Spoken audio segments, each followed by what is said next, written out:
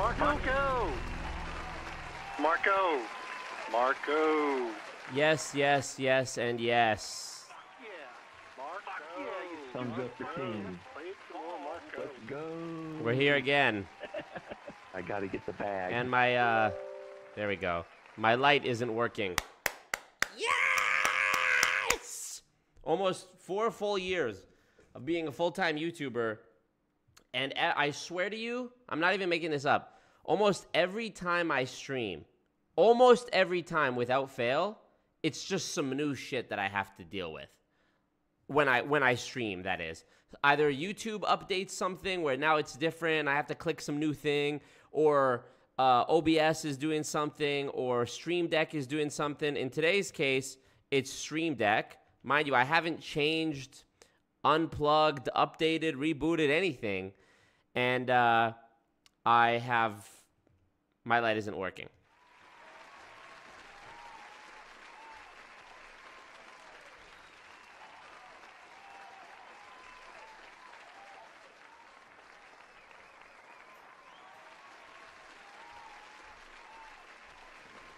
Let's see.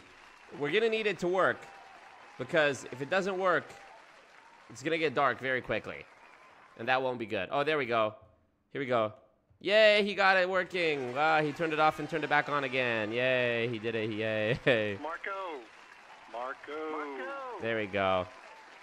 You know, Do you like me? Let's go. so that's good. So everybody, thumbs up the stream. Click like on the video, and let's boogie. First of all, I know your I know your first question. You you probably have two questions. The first one is how come there's 108 people watching and only 45 likes? I wonder the same thing every single day, which is why I say thumbs up the stream. The next thing you're probably wondering is Marco, and statistically, most of you watching this are in the future watching this on the replay. So hello to the future. Most of you are probably wondering what the heck on earth is this dono goal up here? Now, you guys know I'm very committed to the anti MLM movement. Uh, I've still been working on this big project that I've been working on since January. And I would say today and yesterday were the two most productive days I've had working on that video throughout the entire process. Like, a lot of it is just very tedious. You're watching hours and hours and hours of Zoom calls that you've recorded and that I've recorded, and social media posts and YouTube videos posted by people in the company in order to get a full picture of what they're about and what you're going to include in the video. So you have to watch all that, download that, bring it into the editing software, watch it again to like really go through and cut. Do that several times because you'll do multiple pass throughs. I'll do multiple pass throughs to see like, is this really important? Did another person say it?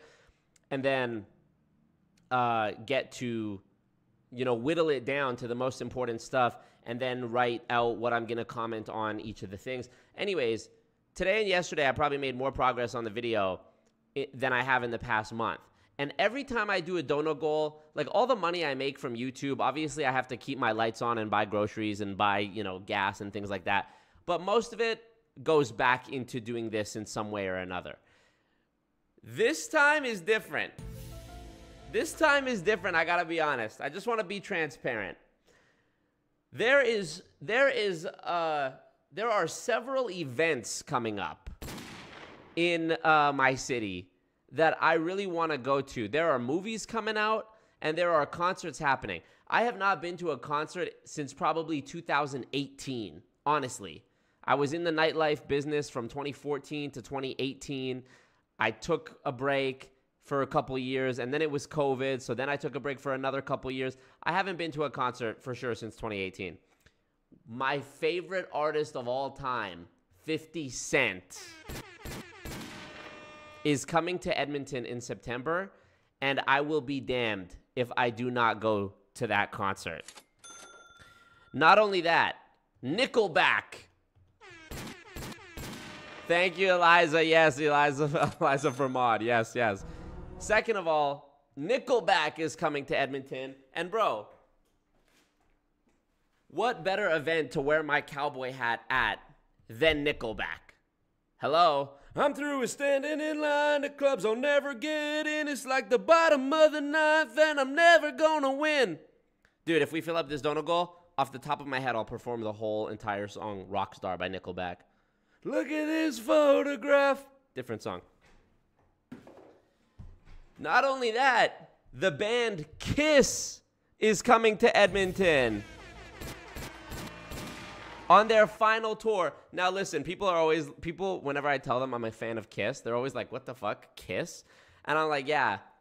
Honestly, I'm not really a rock guy, but I would have to say Kiss is one of my favorite bands. Do I know Kiss's music? I know a couple joints. Rock and roll all night. I was made for loving you or whatever the fuck. I get it. But I, for some reason, have always been uh, enamored with like the mythos of Kiss and like just the showmanship and the costumes and the makeup and uh, sort of the lore of Kiss and the drama of the band. There's a lot of good like uh, you know documentaries and shows about Kiss, and I've read the books or the, I've listened to the audiobooks of uh, Paul Stanley and Gene Simmons from Kiss. I like uh, I don't know I like it, and I just think you know I really wanted to see Elton John when he came to Edmonton uh, a couple years ago on his farewell tour. I didn't end up getting a chance to go see that, but even though I don't really know any of Elton John's music, I just thought you know just to go there and see somebody who's like such a legend perform has to be worth worth it. You know, you're gonna have fun regardless. So I, I like all genres of music. I remember back in 20, yeah, 2018, me and my friend Philip went to go see Paul McCartney. I don't know one Paul McCartney song, and uh, we went to see Paul McCartney just for the just for just to soak up the sauce, you know. But Nickelback, I actually do rock with some Nickelback songs. Kiss, you know, that's mostly for the legendariness of it, and I do like some Kiss songs. 50 Cent, I do not give a fuck. I have to go. So this is a hefty donut goal. I mean, I don't expect us to fill the entire thing, but I just made it. I just inflated it because that way, if we do fill it, I could potentially go to multiple of those concerts. Bro, Live Nation, Ticketmaster, they do not be playing around. It'll be like, yeah, ticket is 200 bucks. First of all, already crazy. And then it's like a 50 or a $100 service fee. Bitch, for what? Clicking a button? And then, you know, there'd just be some other stuff associated with it, like little weirdo stuff. So, anyways, this is, we are 1% filled that donut goal. Thank you, Eliza. You know, oh, Kilakina saw Elton John at Edmonton. Man, that's amazing. That's amazing. Kiss is a very old band. They've been around like 50 years. I don't know, man. I want to go see those 80 year old dudes jump around on stage. What can I say? I'm crazy. I'm crazy. What else did I want to add? Okay, before we get into it. In Discord, there is a new feature. If you're not in my Discord, join the Discord server. Let me put the link. Oh, it worked. Wow, my buttons are actually working. Damn. So there's a there's in Discord voice chat when you guys are hanging around in there and talking with each other. There's a new feature they added called soundboard. And today, like you can upload custom sounds that are specific to your server. And I added a bunch of the Stream Deck sounds that I use on stream, like Obama, Obama. and like, you know, this one, Thanks, Marco. and a, a bunch of them, a bunch of them. You're broke. That one, You're fucking poor. that one. So I added a bunch of those sounds to this to the Stream Deck feature in Discord. So if you are a member of my Discord server and you're ever hanging out in voice chat and you wanted to live the real Marco always Marco experience and feel what it's like to be me and have the the power of those sounds at your fingertips, now you can. Now you can. Yeah, Benny and the Jets, I do know that song. I know some Beatles shit, you know, Come Together, Lucy in the Sky with Diamonds, Yellow Submarine. I get it. You know, I get it. If you go Nickelback, go general admission. Of, of course. What you think I'm going to get to meet and greet? Sub Chad Kroeger. You know, those guys are from Alberta, by the way. Oh, you know who else is coming here this month? Jordan Peterson. Now, would Jordan Peterson be cool to go see just for the meme? Yeah, but and by the way, Jordan Peterson is per, performing, I don't know the word, at the same like venue as all those other bands I just named. Nickelback, Bro, Jordan Peterson is doing Nickelback level tickets. Go ahead, Jordan Peterson. But uh he just didn't make the cut. Like I, I don't know, man. I have to prioritize here. Like in order of wanting to go the most to not wanting to go, um it would be 50 Cent. I absolutely have to go. Number one. Oh, Alex. Alex. Thank you. How, did I not hear the sound effect? Was that just me? How come I didn't hear that? We have to go number. One. Where's the sound, bro? Oh, is it this?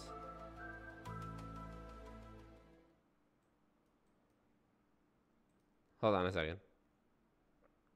Okay, 50 Cent number one, Kiss number two, Nickelback number three, Jordan Peterson number four. Sorry. Let me do a test donation here. Let me see something. Okay, the sound played. So why didn't it play for her? This is a test donation Yeah, for yeah, yeah. 29. Canadian dollars. Thank you. Okay. Well, thank you very much, Alex. Alex. So sweet. Make Eliza a mod and go enjoy One Direction for me.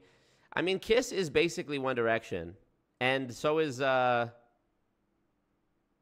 so is Nickelback. They're basically One Direction. So Eliza and Alex carrying this so far, we, which we appreciate. Silicon Valley, what up? He lives very close to my place. Jordan Peterson does? That's insane. Pull up on him. Yeah, he's Canadian. So take this in. Of those acts that I just named, I live in Alberta. I'm from Alberta. Both Jordan Peterson and Nickelback are from Alberta, bro. Isn't that something? I feel bad. I should. I wonder if my. I wonder if Jordan. I wonder if Jordan Peterson is gonna go out there in Edmonton and be like, "What's up? It's your boy JP. Y'all know I'm from here, right?" That's probably why he's playing the arena. I doubt he's playing like the arena in other cities. It's probably because he's from here. But I don't know. Maybe he's getting that fucking bag skis. Where's the bag button? I gotta get the bag. Uh, yeah. Jordan Peterson was on Rogan. He can pull Nickelback numbers. That's so true. So true. The sound effect paid for you. Lol, the one time I donate. I don't know what's going on. Write this down. Kisses One Direction. I saw Jordan Peterson Ottawa a few years ago. Is amazing. Audience so quiet you could hear a pin drop. Says Gabby. Okay, okay. Alex coming in with the hot donut. Gonna have to send more. Yeah.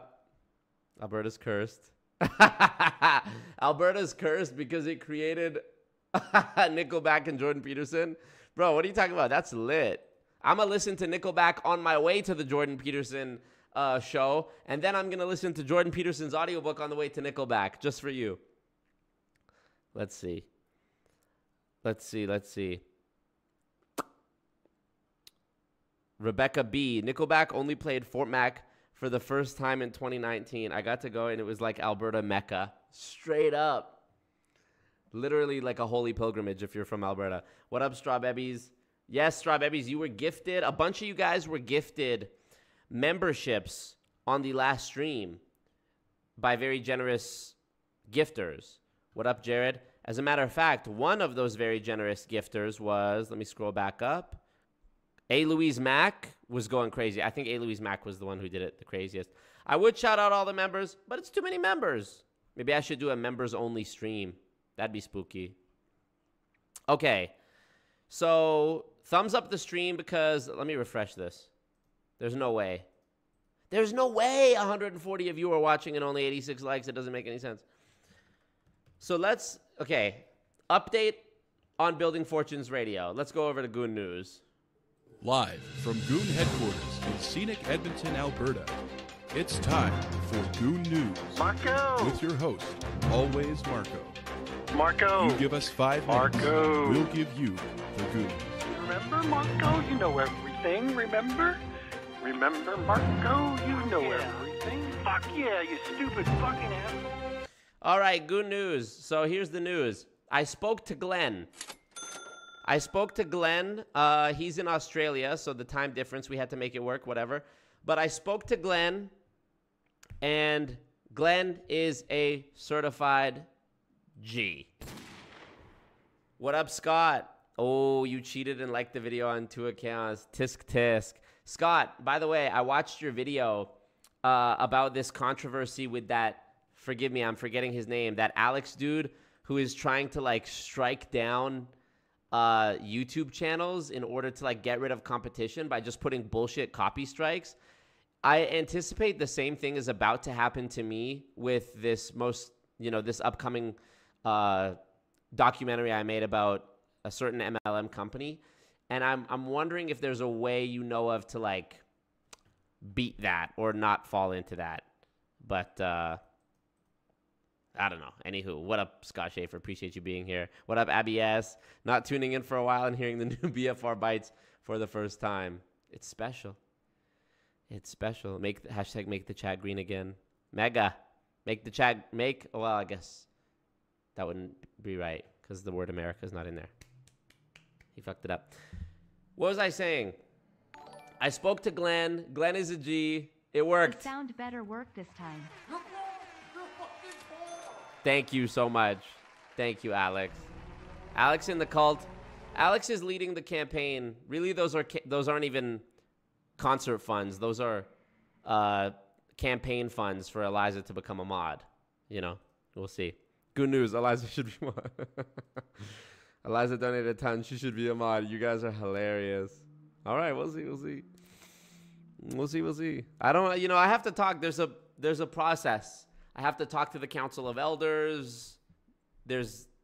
It's very political. I don't just. I can't just click a button and make somebody a mod. You know. I hope you guys be patient with me. You got to understand. Um. Okay. Scott says, if you get strikes, spread the word and get bigger creators to make videos about it. Yeah, maybe I'll get my boy CoffeeZilla on it. Scott Schaefer, get my boy Scott Schaefer on it. Ah, get my boy James Jani on it. Ah, flexing, he's flexing. Okay. Thank you, Blaze Goddess. God damn, I gotta slow down the chat. It's going too fast. So, I spoke to Glenn. Glenn is a G. I'm gonna try to get him on the stream soon come. But for tonight, what we have is the sequel, the bonus. This is the second week in a row. Scott and Peter have blessed us with a bonus episode of Losing Fortunes Radio. They did normally it's Saturday night, but they've been ramping it up because the, it's the war is elevating to new heights.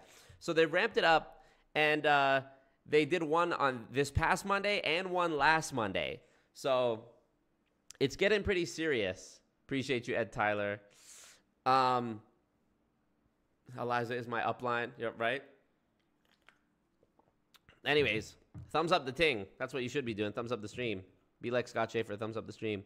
Maybe you too could have a verified YouTube channel one day. So that's what we're going to listen to today. Is we are going to listen to that. I encourage each and every one of you to get your Building Fortunes Radio bingo card ready because and if you it- it's the it's pinned in the discord but i will also put the link here in the chat for you guys that don't uh aren't there whatever. You can click this open it in another tab or on another device. It randomly populates the 25 squares with different uh different options of things that scott or peter might say. So that's what we're to listen to. This is losing fortunes radio. Um let, me- let me find it. They upload so much, it's insane. Literally, look at this. Not this, not the void. Look at this. Okay, here we go. Look at this. Look at the dates. May 17, May 17, May 16, May 16, 16, 16, 15. Fif- like, bro, in the last two days, these motherfuckers have dropped so many episodes. Like, how does Peter not get tired of talking? And uh, this is a guy who streams. I'm saying this, I stream multiple hours, you know, three times, two, three times a week, bro. The fuck? So, anywho, donation link in the chat if you want to so help me go to watch Nickelback and Kiss and 50 Cent in concert, not in that order. Imagine a festival with all three of those acts on it. Imagine a festival with Jordan Peterson, Nickelback, Kiss, and 50 Cent all on the same show. Like literally the most for like I me funding that for myself. If I was like a rich Arab prince or like the son of a rich Arab prince, I would I would do some shit like that for my sweet sixteen thousand fucking percent. All right. Oh no. Scott and Peter would say make Eliza Mod tears of joy, tears of joy. Well, I'm definitely not doing it then. If Scott and Peter said it. Beyond says, I analyzed the likes on the stream. After Scott announced his alt account, I have been able to determine that Scott Schaefer is in fact a furry. Wow. Damn, that's amazing that you did that. That's crazy. Okay, um always mingling Peter, aka Ming. Call him Ming sometimes. What up, Joseph? It's actually Peter's show. He just has co-hosts. That's true. Um, I thought you are a rich Arab prince. I'm on my way. Streamlabs link in the chat. I'm on my way. I'm on my way. Did you say Jordan Peterson? Yes, I did. He's coming to Edmonton. I'm not going, but anyways. Thumbs up the stream one last time. 160 watching, 109 likes. So I'm going to say one last time. Anyways, sounds like a Bonnaroo lineup. So funny. Squamish Valley Music Festival lineup for real. Okay. Uh, let's let's listen. Glenn Logan returns with Scott Johnson and Peter Mingles for common MLM debates. Let's check it out. Oh, there's an ad. Oh, there's an ad. Here you go. You can check out. Let's see what.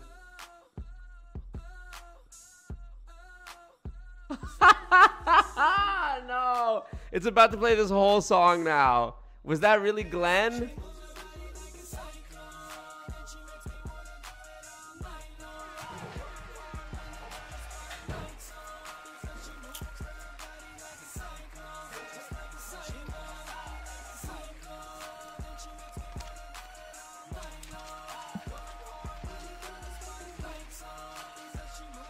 Let's go. What a day. She shaking that. And oh, you ain't know she get lower muffler. Either with a girlfriend, the show stopping with a hustler. The way she move her body, she might see the Maserati. She wanna put it on me, trying to show me her tsunami. She make it hard to copy, always tight and never sloppy. And got her entourage and her own Glenn is a paparazzi. G, Now that she bro. go again, riding through the stormy weather. You better button up if you wanna go get her. Cause it is what it is, everybody wanna love her. But when she pop it, boy, you better run for cover.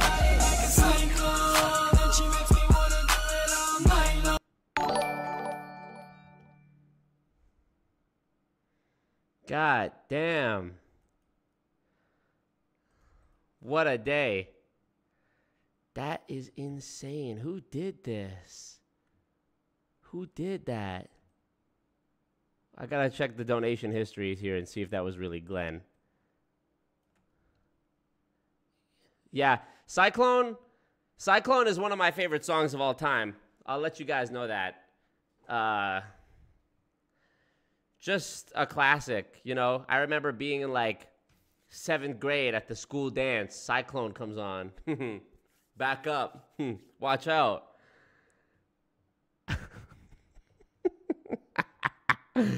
Uh, I love Cyclone. Whoa, baby bash. Woo, we just got outbagged. Glenn, how to cheer dance to this? Wow, that donation is worth more than what Scott and Peter estimate I make in an entire month. Insane. It's been a long time since we've triggered the Cyclone. Um, dono. That's amazing. Thank you. Wow. Now pole dance with it. You're hilarious. Bread, cheese, lettuce, make a whole sandwich. Yep.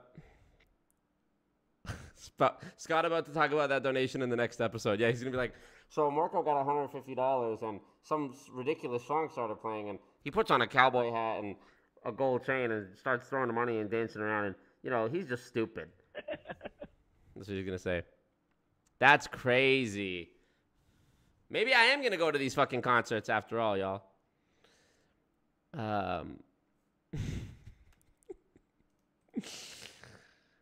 uh, is Mrs. Incredible still one of the donations things on the screen? I'm not sure. Let me let me see. You listen to that song three times a week. I'm from the deep south. It went hard when it came out here, dude. Let me see. Okay, let me see if that was actually from Glenn, because I'm gonna have to roll out the red carpet for Glenn in a big, big way if that's true. Let me see. Let me see. It says not Glenn, but I can't confirm if it actually is Glenn. I'm assuming it's Glenn. So if it is Glenn, Thank you, bro. Scott and Peter are gonna be pissed, but maybe it's not Glenn, as per the username, not Glenn. Um. Also, there was a five dollar super chat here that I think I missed. Okay, it says Eliza for mod, you cowards from Even Stevens. Yes, thank you. I like how so far this chat has been not about. Uh, I, I got in an argument with Oh, my shit. father about two months ago. Um, sorry, it started playing the episode. I like how this has not been about MLM at all so far. It's just been about, uh, you know, it's just literally been about Eliza being a mod and what else? Eliza being a mod and Cyclone and Scott Schaefer. Okay. Nicki verse. Yeah, I'll, I'll do the Nicki Minaj verse from the song only if the bag permits. If the bag permits. Alex again? top Glenn, but do you like me? Hashtag Eliza for mod. Do you like me? This is, dude, y'all gotta stop, bro. For real. There should be a limit to how much each person can donate, uh, like individually, because then I get happy when people drop bag, and then people drop too much bag, and then I start to feel bad, and then I message them on Instagram, and I'm like, "Are you sure you don't want me to refund it?" And so we gotta let's balance it out here, y'all. Everybody has to do their share on the cult, on the commune, okay? Everybody does their share, and you know we get there. There's 200 people watching, 183 people watching. Let's do some quick calculations, some quick math. Ready? All right, boom. 180, let's say times five. 900 bucks. Holy! Everybody drop five bucks. 100. It's a, it's a 800 bucks. Easy. Easy, dude. 10 bucks, 1800. Hello. Five bucks, 900. Blaze Goddess says, My nickname is Mrs. Incredible because of a medical condition I have. It makes me super flexible. Well, I guess, but I, I'm a fan of Mrs. Incredible for different reasons. But I feel you. I feel you. Okay. Okay. I'm going to get so warm wearing this hat. All right, let's listen. This is uh, follow along on your Losing Fortunes radio sheet. Let me know when you get a bingo, and we will keep rolling. We're halfway filled up this dono goal, and we've only been live 30 minutes. Maybe I'll end the stream early. I'm just playing. Okay, and uh, let's um, check it out. Here we go. Here we go. How do I start from the beginning? Here we go. here in Australia, Genius. They don't know who Glenn. Welcome to Building Fortunes Radio. Make sure you check us out at buildingfortunesradio.com. Along with our marketing partners, Marco. we're here to help our PM Marco. marketing network lead customers build their businesses and make the world a better place. At Building Fortunes, we know how much your business means to you and the people important Do you to like you. me? So spread the word, tell a friend, join our newsletter, and go make a difference in your world. Now on to our show with your host, Peter Mingles. Hello, everyone. Peter Mingles here. You're listening to us on Building Fortunes Radio. It's www.buildingfortunesradio.com. For those people unfamiliar with my voice, my name is Peter Mingles. We own this whole thing, and we are We. doing a special radio show with a good friend of ours. His name is Scott Johnson. Scott and I usually do a radio show on Saturday night at 8:30 Why are you doing p.m. Eastern Time. But today See is a special he radio show. We're waiting on a an invite- Marco, you convinced me. Have fun at Nickelback.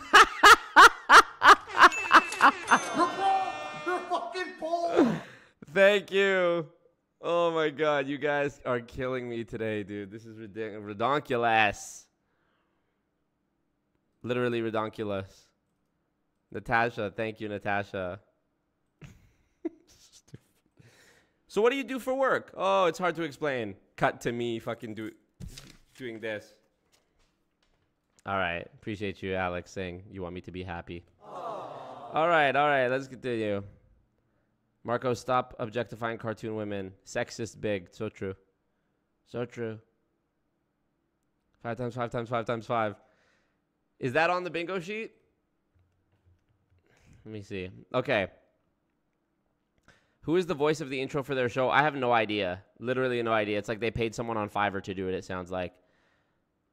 You did the you did do the Lord's work today. Oh no, Jana Miller. Here's my part. Also, Scott and Peter, you suck. So true.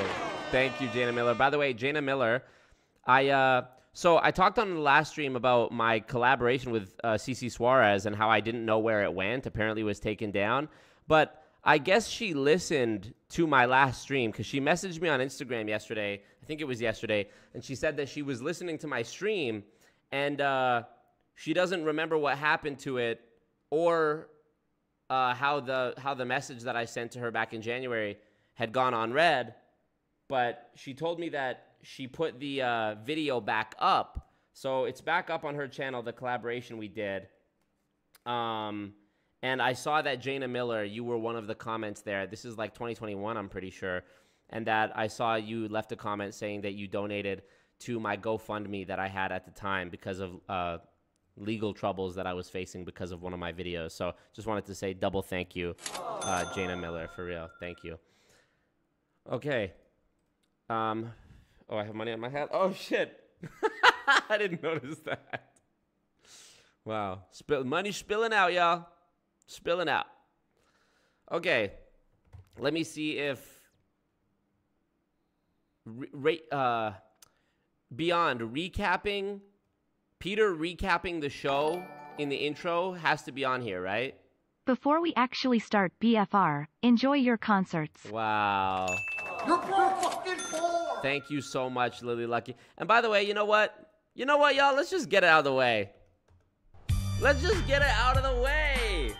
Let's just get the donations out of the way. Come on, y'all. Come on. I'll wait. I'll give y'all I'll give y'all a minute. I'll give y'all 60 seconds. And we can do that. We can make me a millionaire or even better. Billions and billions. What do you say? What do you say, y'all? Aaron says that video with CC was how I found you. Awesome. Thank you. Thank you. Um. Let's go. Let's go. Let's go. Thank you. Wow. What's going on? Last one, I promise. Oh shit! I pressed the wrong one. Oh shit! I gotta get the bag. Wow, it's actually go. Look at this donograph. Wow. Billions and billions. Billions and billions. I'm not a loser. Shut up, bitch! I take responsibility. Chocolate, chocolate chip. Gotcha. Ladies and gentlemen, He's beginning to believe. that you um you had you you wi- you could you do you wi- you want you you could do so you you do you could you you want you want him to do you so much you could do anything. How come when I do a dono goal about me going to dick around at a Nickelback concert, it goes crazy? But when I'm like, guys, come on, it's for legal, you know, to hire a lawyer. Guys, come on, it's for something. I gotta go to Goon Court, guys. uh, What you were about How come when it's some for something like that? How come when it's for something like that, it's crickets, bro? Keep the lights on. Johnny.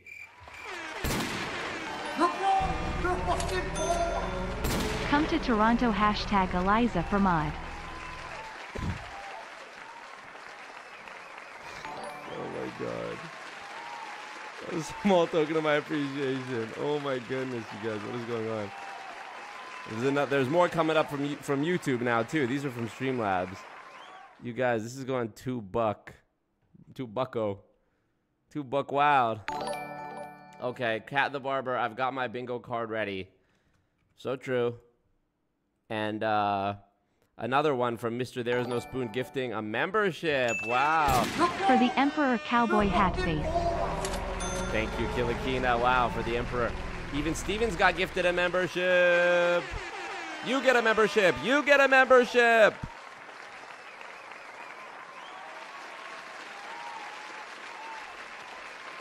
This is insane. I was just trolling, by the way, but y'all go. take responsibility. might as well just go for it, huh? Might as well just fill it on up then. Thank you, Mr. There's No Spoon, for gifting that membership to Even Stevens. Scott Schaefer says, run a fundraiser for your ligma diagnosis. Dude, that's not a joke. Don't joke about that because that's serious. Because I actually had ligma at one point.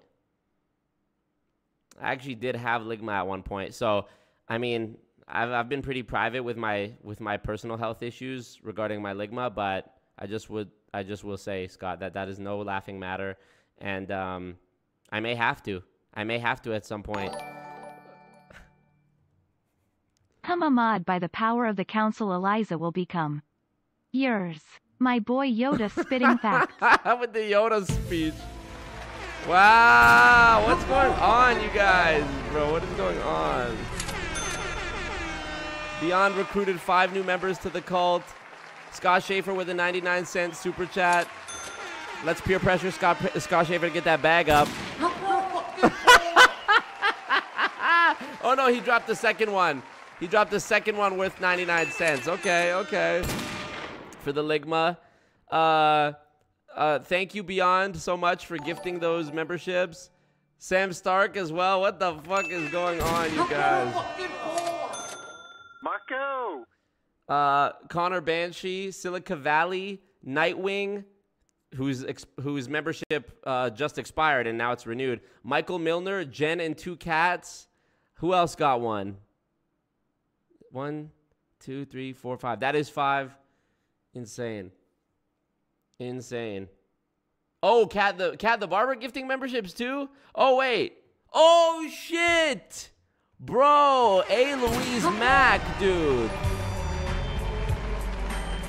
Mod Greenadian first. Oh my god. Do you like me? Greenadian with the 10 sheet.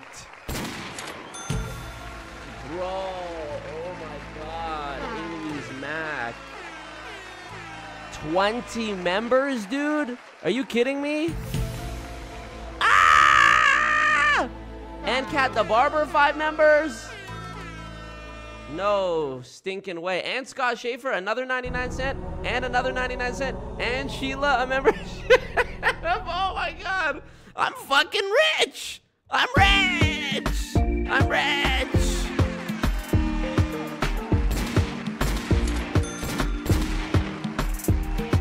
I gotta get the bag. Fuck yeah, you stupid fucking asshole.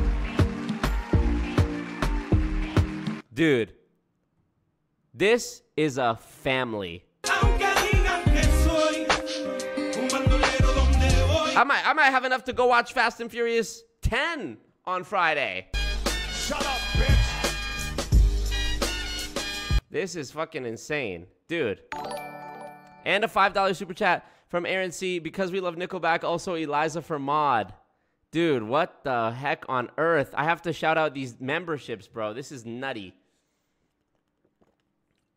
You see, bro, the 5x5 by 5 by 5 forced matrix compensation plan actually works in this cult. This is the only cult that the 5x5 actually works in. In these multi level marketing companies, it doesn't work. But I promise you, you're watching it unfold right before your eyes. In this, in this company, in this cult, in this cult, it works. 40 minutes, and we're at $400. That's like six, that's like $80 every 30 seconds or something like that, if my math is correct. Beyond with the five memberships, Scott Schaefer with a, a few different 99 cent donations because I'd be losing track. A. Louise Mack, gifted memberships. I, I swear the whole chat has to be green by this point, right? Almost completely. Okay, let me look. Okay.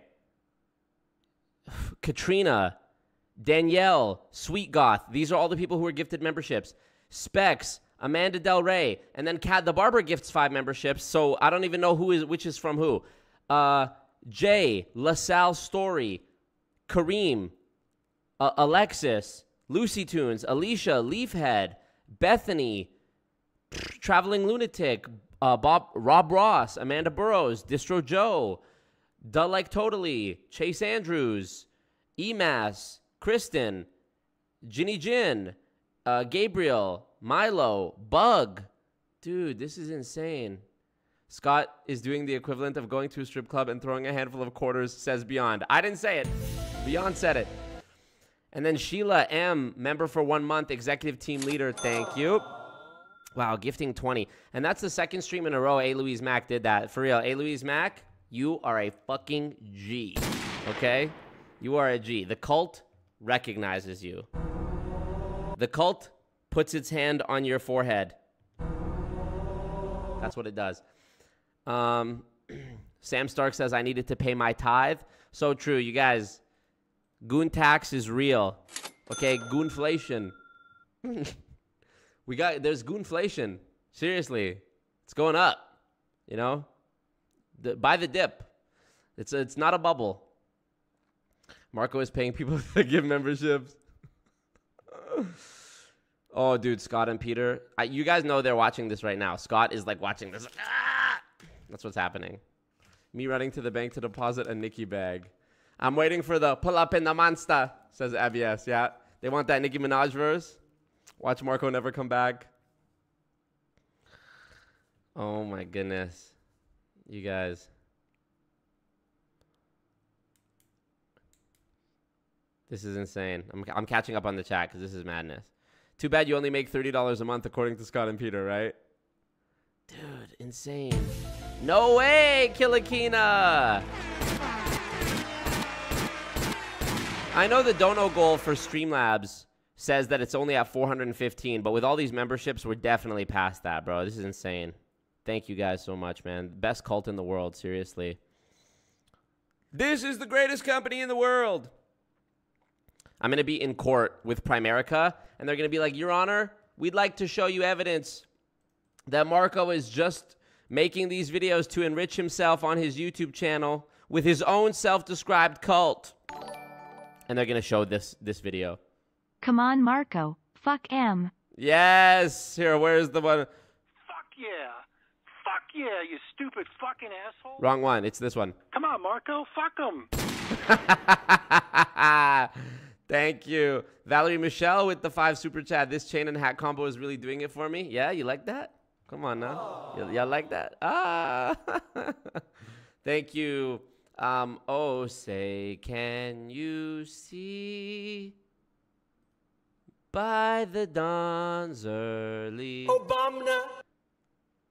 Wow. Gifted memberships. Gift settings. Thank you, Rebecca, in the chat, giving a tutorial on how to turn on gift, uh, how to turn on memberships to receive them. Appreciate you, Samuel Gozo. Let me see what's going on here. Five memberships from beyond. Let me add these up 5, 10, 15, 20, 40 memberships. 45 new memberships, bro. Now with Sheila M's membership gift. Beyond with five. A. Louise Mack with 20. Kat the Barber with five. Kilakina with five. Sheila with five. 10, 15, 20, 40. Okay, 40. My mistake. 40. You never answered my question, says Alex. Do you like me? Hashtag Eliza for mod. Do you like me? Yes, I do. Thank you. This is insane. Insane. Jimmy Bastion, you're going to go on Building Fortunes? Let's go. Eliza for God. Dude. Dude. What happens if you hit 500? That's a great fucking question. I didn't expect to hit it. That's why I don't know. I'll do something. Oh, yes, right. I said if we hit 500, I will sing the entirety of Nickelback's Rockstar. Wow. Dude, Roger Waters, BB, Sila, uh, Patrick, Glenda, Christian, they all got gifted memberships. And it looks like Sila Jane was also gifted a membership. Oh, yes. From Kilakina, Marilyn, Claire, Abby S., Sila, Brianna all got gifted memberships.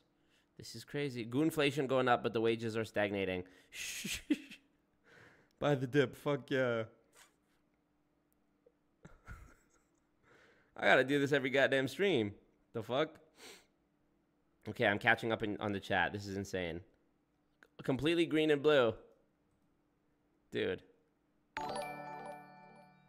Mez. Enjoy and sing the shit out of Candy Shop for me, yeah? I take you to the candy shop. Lollipop.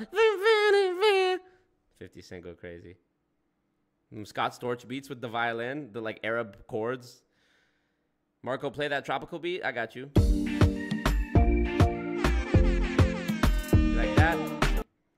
More money in five minutes than Scott's decade in MLM. You said it, not me. Okay. By the Don's early Obama. This is crazy, bro. This is going nuts.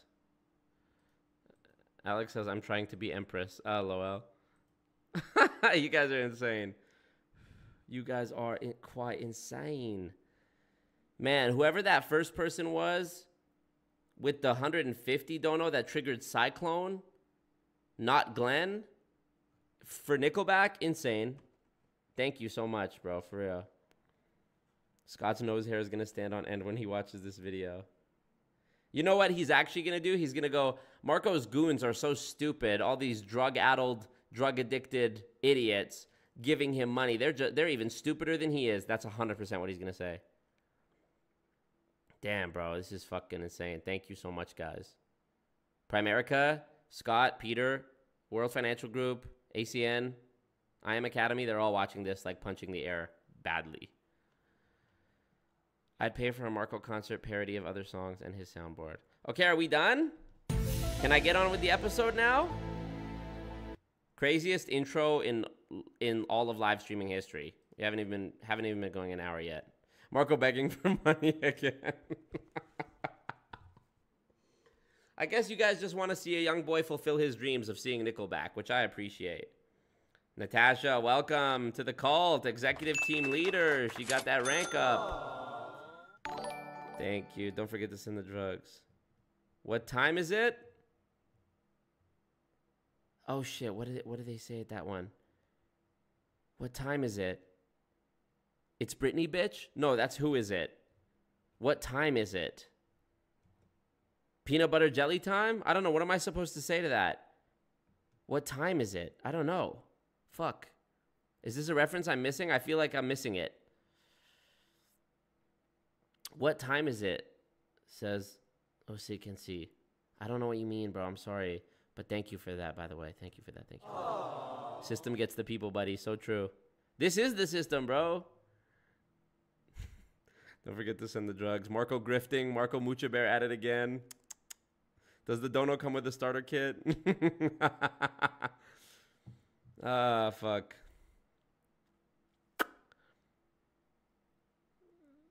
Oi, I ranked up too. Congrats, Miss Amanda, ranking up. So funny. S- summertime? Game time? Right? Hammer time? Josephine with the 30 bones. Wow. Go see Kiss. I saw them recently. They were amazing. Wow. Thank you so much, Josephine. I'm really excited for that. I gotta go see Kiss, bro. For real. What time is it? I don't know. What time is it? 7:50 p.m. where I am. Oh, I'm such an idiot, bro.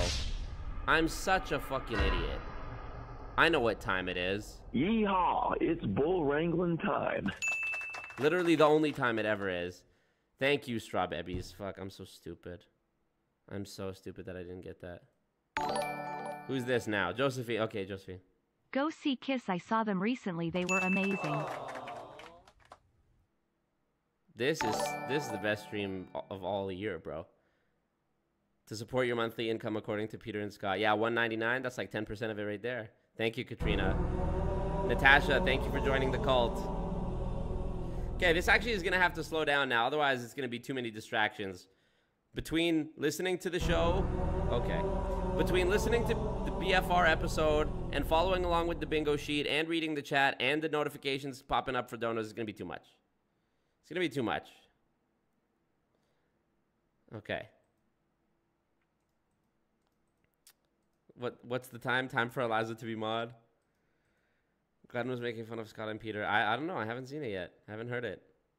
All right, 200 people watching, 154 likes.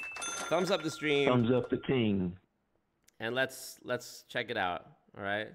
So now you're begging us to stop giving you money. Okay, never mind, never mind. All right, let's check it. Invited guests to come in, and we scheduled this one for 9 p.m. Eastern Time after rescheduling it as per his request at 8:30 p.m. Eastern Time to be able to talk. Kendra K with the dono. She says, I want to see Post Malone, but I'll be 35 weeks pregnant, so live my dreams for me, Marco. Wow. First of all, congratulations on being pregnant, Kendra K. Congratulations on having your club shot up. And uh, I actually have worked with Post Malone before. I was his. Uh, I was part of a concert of his back in 2016 before before he really blew up, like before Rockstar and all that, before the face tattoos. Go on my Instagram, scroll all the way back. You'll see a picture of me looking very, very young with uh, Post Malone, and there's some other rappers that I've got posted up there too. That's not all the rappers I've met, but some of the pictures I just took down because I, I looked so bad in them. But here, I'll just show it to you. Here's the Post Malone one. Look how young I was, bro. This is 2016. This was posted. Me and Post Malone. There's a few other ones. There's a few other ones. I, I've lived a life. I've lived a life prior to this. Prior to this YouTube life, I lived a life. So, thank you for that, Kendra. I appreciate you. So stop gifting, says Eliza. It's a little reverse psychology going on here. Come on now. All right. Mm. You shouldn't have left for 15 minutes then, Meek. I don't know what to tell you, big dog. You missed the bag, Meek. You, the early bird catches the bag, you know what I mean? Early goon catches the bag. He seems annoyed that Glenn rescheduled. Yeah, literally. It's like, bro, what do you want Glenn to do? Stay up till 4 a.m.? He's in Australia, bro. Chill. Okay. I love that the chat is green. This is like a highlight of my YouTube career. Seeing the entire live chat with 200 people completely green. Oh. Oh.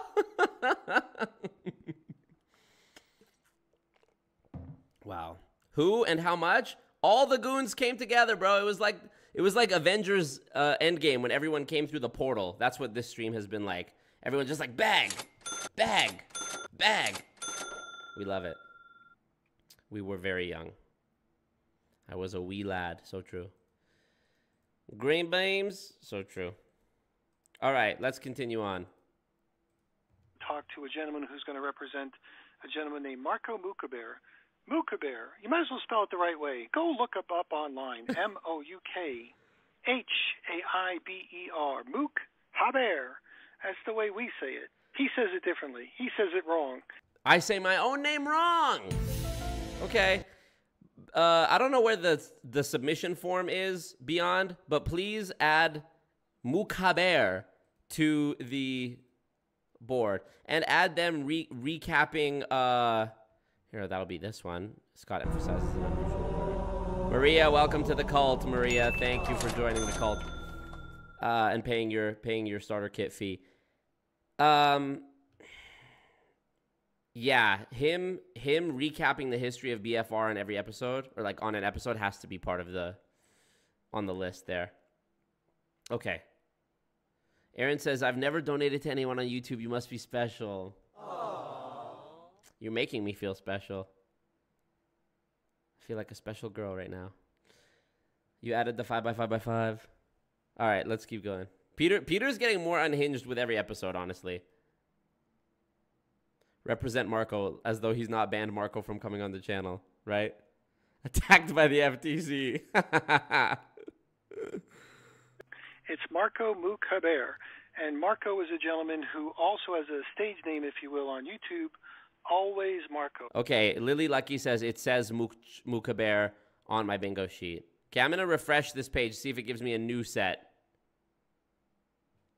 Okay, it, uh, it right there, Mucha Bear. Okay, there we go, there we go. Um, let's see. Peter recaps BFR origin. There it is. Wow. Scott says don't have a clue. You guys, I could. How could I ever break up with Scott and Peter? You know, how could I ever and stop talking about building fortunes radio? You know, to think I took a year away from doing this content. Can you imagine? Always Marco. You can check out his channel. He needs the extra subscriptions. Um, but if you go and you I take do a feel look bonita. at alwaysmarco.lol, you'll see what some other people have said about Always Marco. So always Marco dot LOL because he's a joke. well, Scott Johnson, their site. this is his radio show, and we are waiting for a guest who is supposed to be taking Marco's stance on his anti-MLM conference, which they called the MLM conference, that was done back on the Ides of March, which happened to also be, I think, Best uh, no, I think cult ever. yes. You're fucking poor. Thank you. Glenn has a channel called MLM is fraud. Yes, that's the channel I believe that he comments on, comments using. I think it's somewhere around the Ides of March of 2023, um, done by a gentleman named Professor Bill Keep over at the uh, College of New Jersey, who's a uh, pseudo, if you will, marketing professor, alleged. Lemau, pseudo marketing, alleged marketing professor. I'm putting it on 1.25 speed, y'all. Let's call it MLM guru expert kind of a guy. And uh, Marco did a presentation there that we were going to chat about with this guest who is still not here yet, Scott. So uh, we'll talk. Sounds so pissed. Also, the fact that it's been two full months since I even did the conference speech, and they still haven't found time to recap it, even though they do an hour and a half long show, 90 minute show every week. And with the past two weeks, they've done two. Talk about that in just a second. But thanks for being here on the special edition of the Scott Johnson Radio Show. Hey, hey, Peter. Yeah, this is a special show, and um, we're looking forward to talking about Marco. Hopefully, our guest will be here. If not, we can talk about Marco. It's no problem. yeah, I bet it is no problem. Two minutes into your show, th- talking about the same thing you talk about every week, as though it's like you needed to be convinced. You only, you only talk about Marco. What do you mean? We could talk about Marco. Idiot. Oh my God. Not Scott Schaefer with the dono.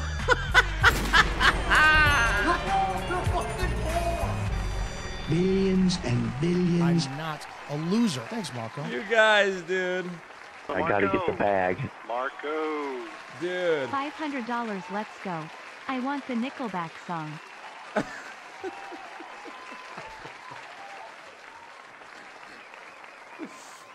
Oh my goodness.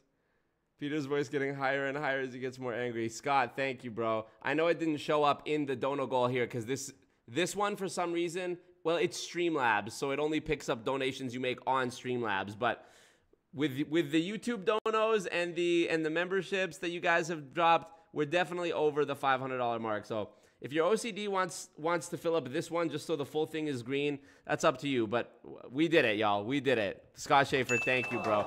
I'll tell you, Scott. For, for I don't know why, but it's it's rare that one of my YouTube uh, YouTube friends, like actual creators, drops a bag. So I really I really appreciate that, dude. Thank you for real.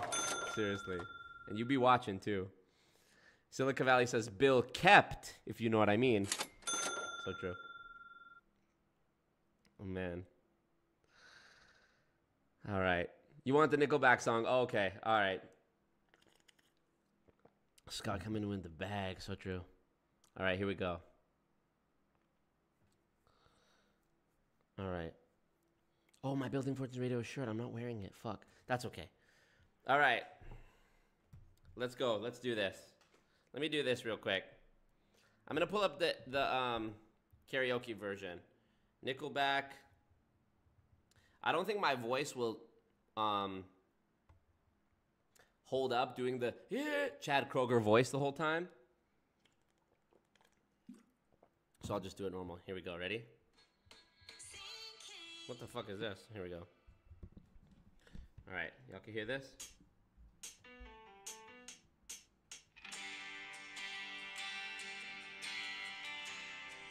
All right, here we go. No, hold on. All right. Oh, this version sucks. Let me just play the original shit. I got to for some reason when I play it from YouTube and I'm streaming the the audio like this it doesn't sync up properly. So I'm gonna play it here off my phone. Ready? All right. Rockstar. Here we go. Standing in line, the clubs will never get in. It's like the bottom of the ninth, and I'm never gonna win this. Life ain't turned out quite the way I want it to be. I want a brand new house on an episode of Cribs and a bathroom I could play baseball in. Got a king size tub big enough for 10 plus me. I need a credit card that's got no limit and a big black jet with a bedroom in it. Gonna join a mile high club at 37,000 feet. I want a new tour bus full of old guitars, own store on Hollywood Boulevard. Somewhere between Cher and James Dean is fine with me. I'm gonna trade this life for fortune and fame. I'd even cut my hair and change my name.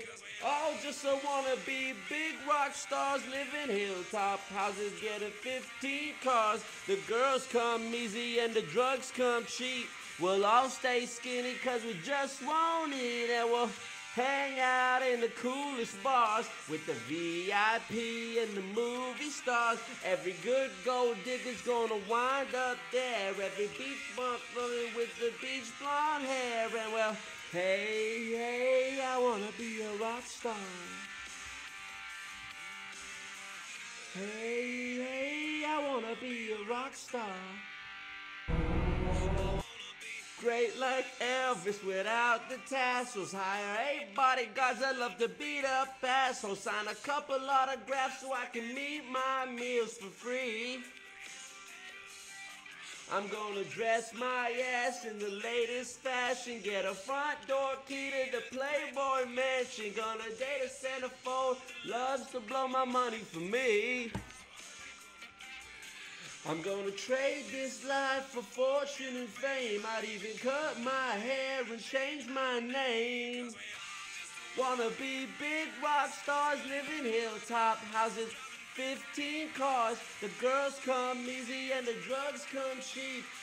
Stay skinny cause we just won't eat and hide out in the coolest bars. In the VIP with the movie stars. Every good gold digger's gonna wind up there. Every bleach bunny with the bleach blonde hair and we'll hide out in the private rooms with the latest dictionary in today's who's who. They'll get you anything with that evil smile. Everybody's got a drug dealer on speed dialing.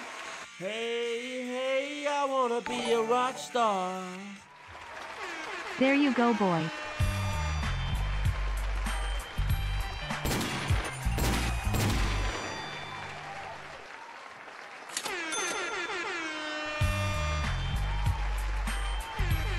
Thumbs up the team. Yeehaw! It's bull wrangling time. I gotta get the bag.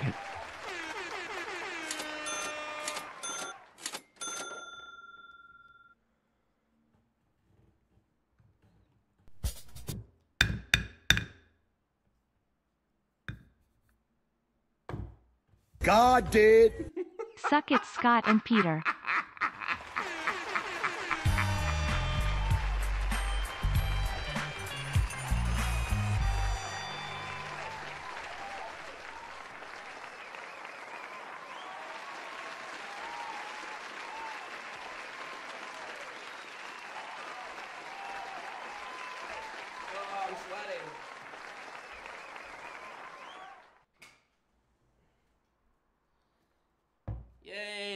Sweating, yay.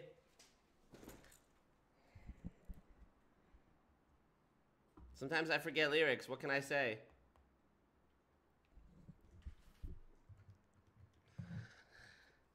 Spin this shit backward one time on him. Damn, man. Did I miss some shit while I was doing that? Did I miss some donations? Cat the Barber joining for uh, uh, one member for one month. I have the bingo app open in one tab and the submission form in the other. I'm a pro. Yeah.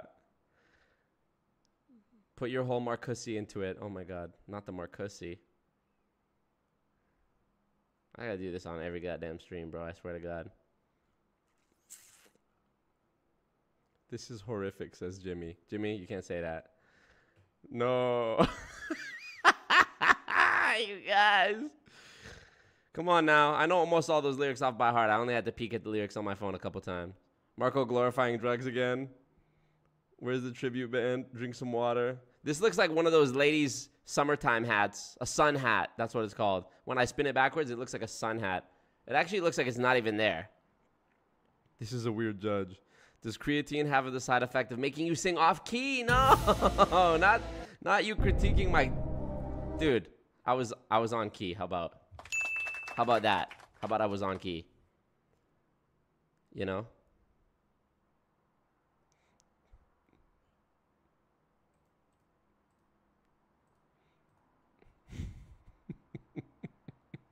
Our leader is so brave. So true. Karaoke night in Discord. Get this man a cold beer. He doesn't care about it getting demonetized. I don't give a fuck. He got his bag? Cyclone already got us demonetized, bro.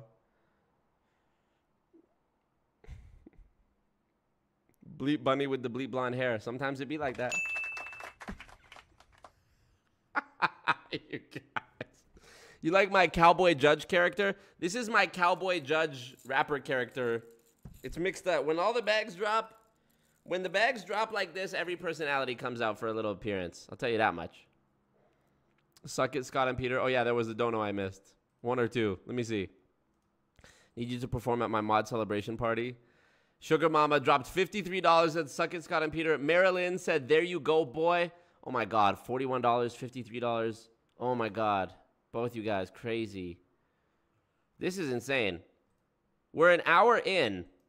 And uh fuck, clicked. Ah, fuck, I clicked away from this from the YouTube. We're an hour in. Maybe I should just end it. Just playing. I'm just playing. I'm just playing, y'all. Maybe I should just take the money and run, baby. Go start a new life with this $500.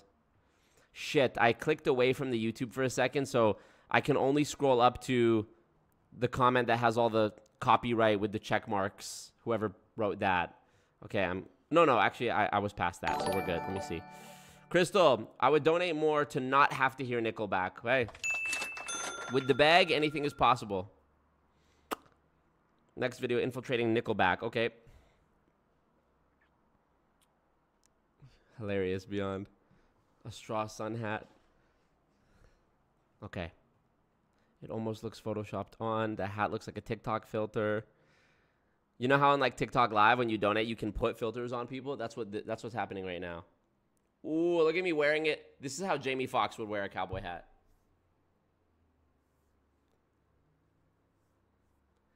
Get well soon, Jamie Foxx. I heard he had a stroke. Okay.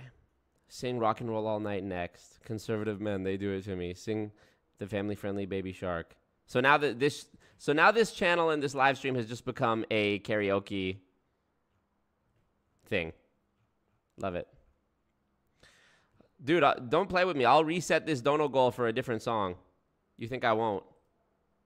I, will do it right now. Cherish this moment. Screenshot this.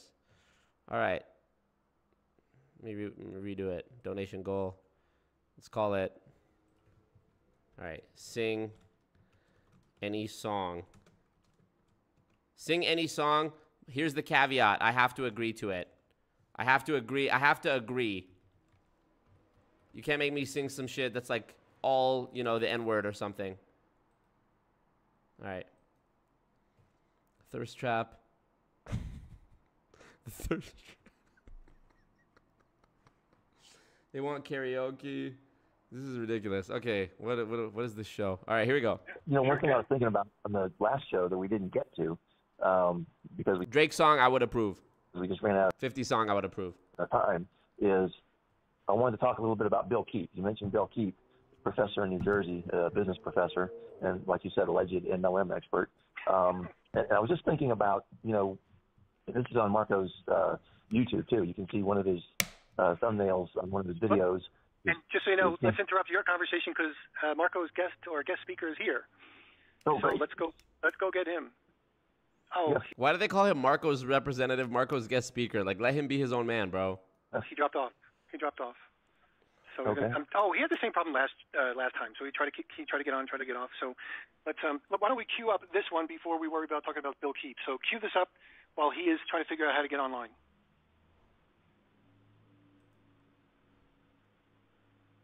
Scott. Hello? Scott. I'm here. Yeah. Can you hear me? Yeah. So you're here. So why don't you why don't we do an introduction for Marco's um, spokesperson? And he's still trying to get online, but he's at least he's showing. So why don't you do Right. that? And and this way at least we'll be on topic and we won't have all that dead air. Couple votes for my neck, my back. I like that. Yeah, sounds good. Yeah, and he's calling in from Australia, so we have to have really good connections here all the way from here to down under, so I can understand why you might be having some difficulty. So um, Glenn is our guest, and we've had Glenn on maybe half a dozen times, including a week ago. Uh, we had Glenn on just talking about Marco and you know all of his uh, challenges, let's call them. And Glenn actually, at least he says he likes both us and Marco for different reasons, and he would really like us together, which I just don't. see happening.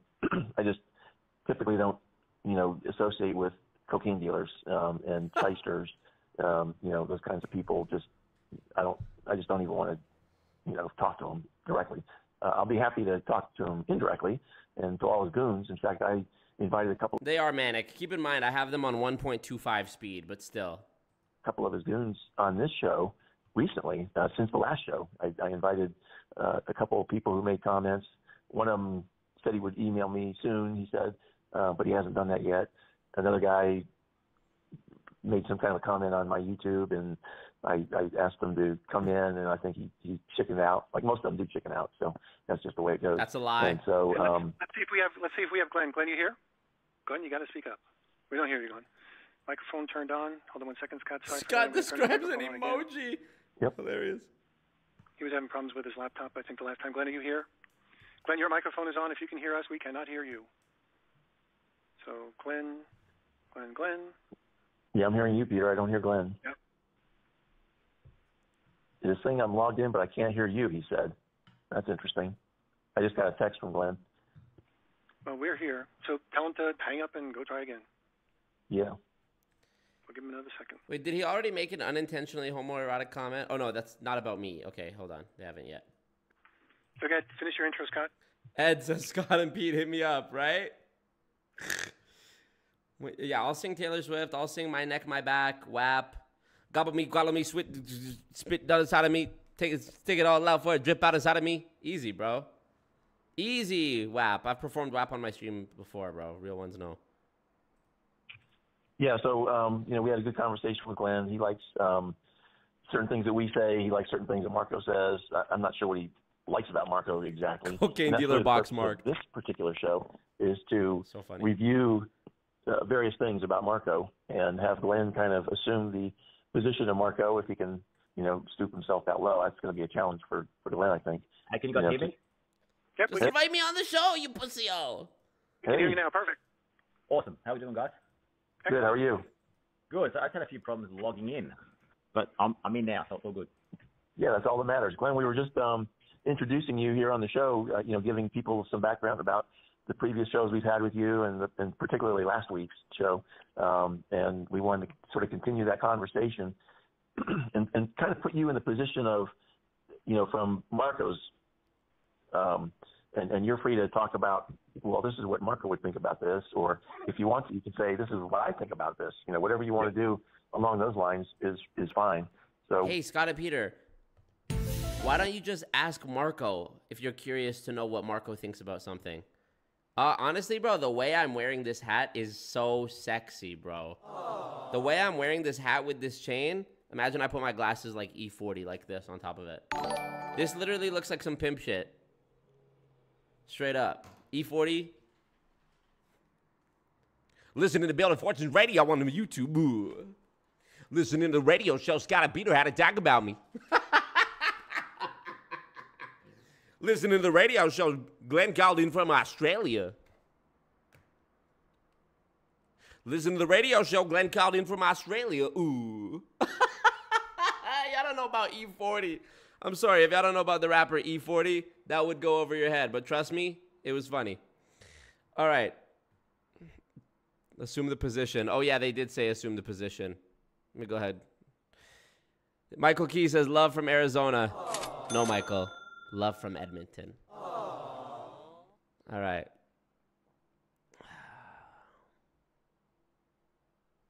Okay. We just wanted to have kind of a, a conversation. And uh, Peter, did you want to ask some questions up front, or do you want to just dig into these comments that I made about Marco at the uh, NLM conference recently? Yeah, I was thinking maybe. Go ahead, go ahead, Glenn. Yeah, I was thinking maybe I could go through. Um, I'll start with. I've got about six points of different things that Marco said in his speech. If I can just start with the first point, I'll give. Sure, but not yet. What, Yeah, not yet. Let's. Uh, we have new people listening in, and they might not know anything. They don't know who Glenn is. They don't. know Not true. They're all. It's all the same goons still, Peter and Scott, except now they have memberships. They don't know who Peter is. They don't know who Scott is. So let's use just a few minutes of a background, if you will, of who we are. So, and I'm, I'm not worried about who you are, Glenn, for this example. We're talking about Marco because we're introducing this concept with rebutting, if you will, Marco's speech. So if you know uh, Marco's answer, then you could, you know, answer the question as if you were Marco. If you don't know, we might know, and because we've listened to enough of Marco's stuff and he said enough of things that we'd be able to figure this stuff out.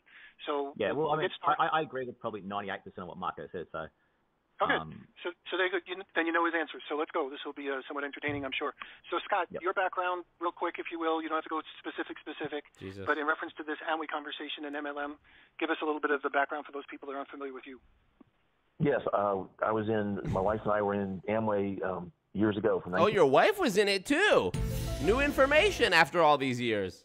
1993 until about 2000. I do not have an Australian Amazon link for Ponzinomics, but if you click the link in the in in the description of this live stream you're watching now, there is links to the Canadian and American versions of Ponzinomics, both the paperback and audiobook. I they are beyond highly recommended by me. If there's one book you should read regarding your MLM or anti-MLM learnings, it is that one. 2005 or 2009, depending on how you want to count it. Um, 2005 is when I found out about the Amway tool scam, and I went inactive as far as my upline is concerned. And I decided I would try to implement a clean uh, Amway business.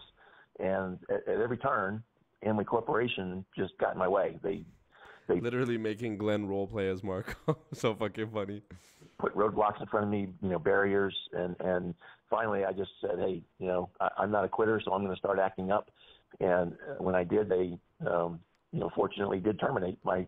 Dude, it is literally an anime. This is not BFR. This is Dragon Ball Dragon Ball BFR. Dragon Ball Z BFR. Because every episode it's like a long half the episode is a fucking recap. Last time on Building Fortunes Radio. Well, he's always stupid, Peter, so back to you, Peter. Well, you know, we started this show 15 years ago. distributorship, my IBO-ship, I guess we could say, in 2009. Uh, but during that time period, from 2005 to 2009, I was both trying to figure out how to run a clean Amway business, and I was kind of like semi undercover, right? Because I was inside, but I wasn't uh, drinking the Kool-Aid, so to speak. And so I noticed a lot of different things during that time, uh, knowing that I found out about the tool I scheme. don't know why this sound, this makes me laugh, but Jimmy Bastian, 100% of people are not familiar with you, Scott and Peter, except the people here, but it's all good. I love it. scam where things that were said had a very different meaning. Um, you know, once you realize sort of backstory, and when you hear something, you realize before I knew about the tool scam, and now I'm thinking something very different now that I know about it. So that's kind of my background. Um, I, I do consider myself uh, an expert in Amway, um, having several years of experience and you know participating in the system. As No one else it, considers you that. Scam. Um, and, and so I and I've done a lot of research ever since 2005. I've talked to a lot of different people in Amway and other MLMs just to get their perspective. And we've had, I don't know, dozens of them, I think, Peter, on this show over the years, whether it be Amway or other MLMs, to give their perspective of, of their experience. And it's really interesting how similar they are, uh, particularly the more recent ones, because the more recent ones co- sort of answer the question of, well, you were in a long time ago, so maybe it's changed. Well, no, because we have people that were in recently, and it's pretty much the same song and dance. So anyway, that's a little bit about me. I'll uh, let you introduce yourself if you'd like to, Peter. Okay, and then in reference to you, Scott, you didn't do Amway full time, meaning that wasn't your full time job. You had some other source of income as well. Absolutely. In fact, um, my upline, and I think most uplines in Amway, um, preach to keep your job. They don't want you to quit your job um, because they know that if you're buying the tools and the overpriced products, you need a job. You need something that's going to fund those things in Amway. And the guidance we were given was you got to have at least twice as much income from Amway compared to your job before you quit your job. Um, I, I think that gives you some leeway to, you know, fall back a little bit and then not be in the total, you know, hurt locker that you would be if, if let's say you uh, quit your job when you equaled your job inco- income.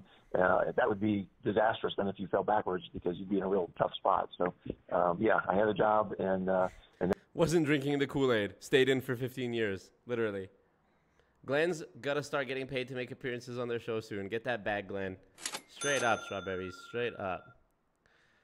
Wouldn't it be easier to just get Marco? Yes. 10,000 people listen to this show every week, says NPAS. Don't talk shit about BFR. So true. An entire college campus sits down to listen to the Scott Johnson radio show. that's really the the recommendation. That's the advice that I think most Amway upline give to their downline, because again, they want to fuel that tool scam, those those overpriced tools. Um, and and there's no better place to do that than from your job. So yes, I was part time.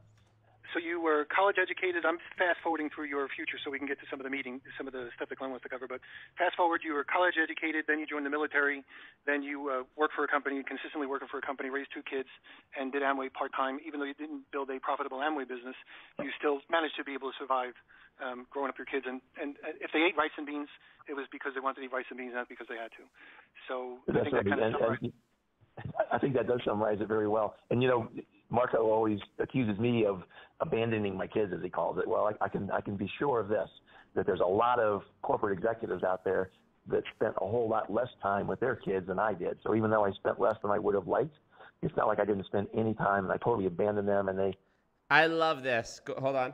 They, they ate uh, beans and rice and all that kind of garbage that, that Marco brings up. I love that you said that, Scott Johnson. I really do. This is one of my favorite, favorite sort of defenses of people who try to defend MLMs is they say, instead of, mind you, and, and when I say this, you will start to notice this if you haven't already with Scott and Peter. There is this strategy with MLM people who staunchly defend their MLM, where the strategy is to not actually address the criticism that is being given of you directly, but rather to deflect by pointing out how some other company or you know person is worse. So I'll give you an example.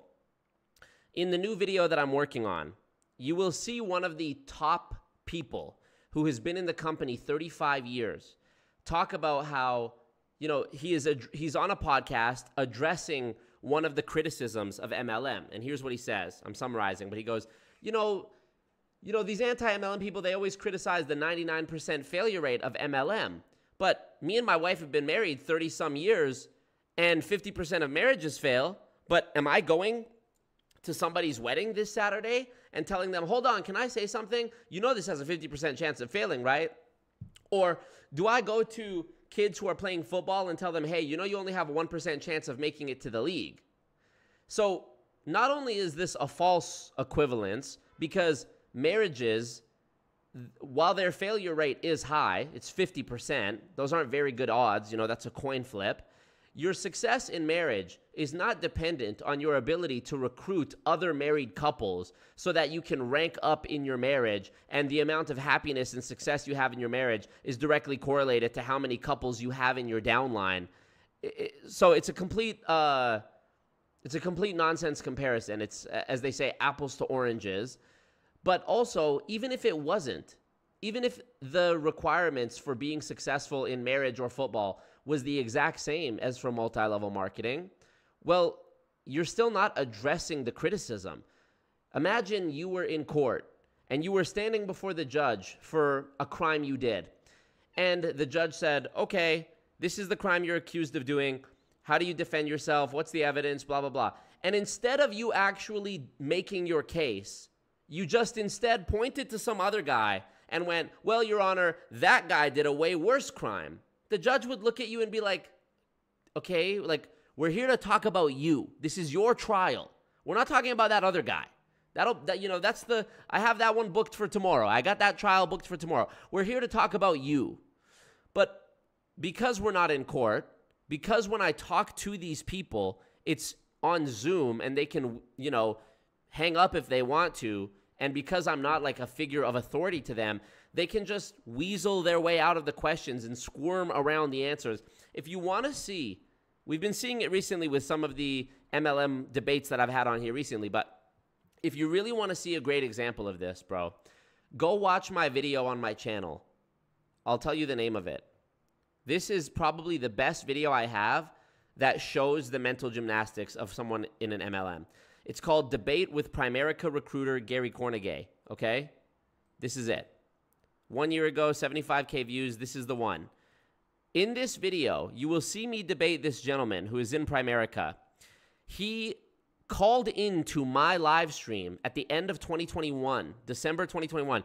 He called into my live stream voluntarily to tell me how big a fan he was of my content, surprisingly enough, because he fights MLM companies that operate like pyramid schemes, in his opinion. And yet he checked quite literally every single box for red flags of a pyramid scheme or a person in a pyramid scheme, in my opinion.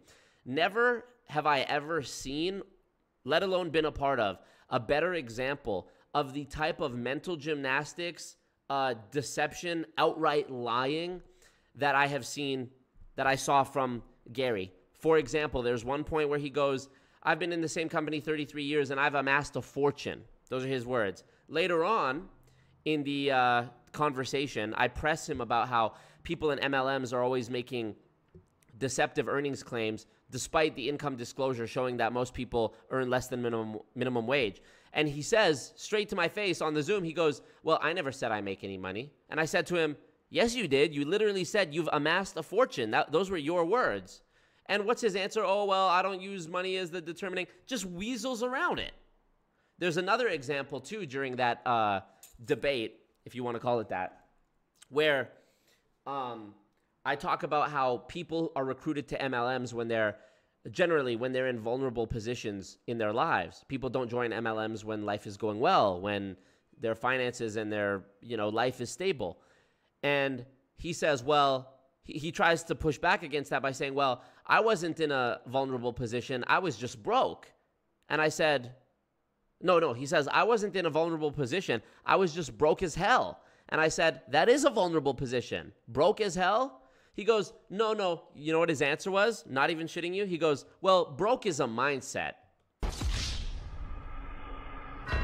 Literally moving the goalpost, whatever you want to call it, moving the goalpost, false equivalence, logical fallacy, outright lying, whatever you want to call it. uh, Please, if you have not watched that debate, please go watch that after this because I, I had like a whole well edited intro and everything too. Like I made it a proper video. And man, that guy, that guy is really like in the sunken place. You ever seen the movie Get Out where she brainwashes the people and so that the, you know, old white people can like transport their brain into the young black people's bodies? This is the most in the sunken place guy I, you have ever seen. And he has videos where he's like, uh, after they got rid of slavery, jobs became the new slavery, as though jobs didn't exist when slavery also existed. And this is a black man saying this, which is so fucked up. He goes, The Bible says the borrower is the slave to the lender.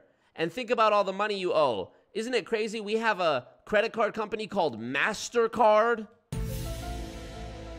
I'm like, oh my God. You guys gotta watch it. This guy is, trust me, he's absolutely, he's in the sunken place. Uh, so sorry for that rant, but I just noticed that Scott is doing that here when he is trying to address my criticism of him being neglectful of his children and his family and his duty as a father and a husband by pursuing Amway for so long, and then now, in hindsight, trying to take the high road and a- appear to be some like authority figure or, or moral high ground. It's like, dude, what is your exp- explanation for why you missed out on your kids' childhoods? Oh, because other people in corporate America were worse? Because other people spent less time with their kids? Okay, so saying a whole lot of nothing. And Paz has five marriages in his downline. Hilarious. Okay. My marriage is based on a uni level marriage plan. So dumb. Gary's cognitive dissonance was next level.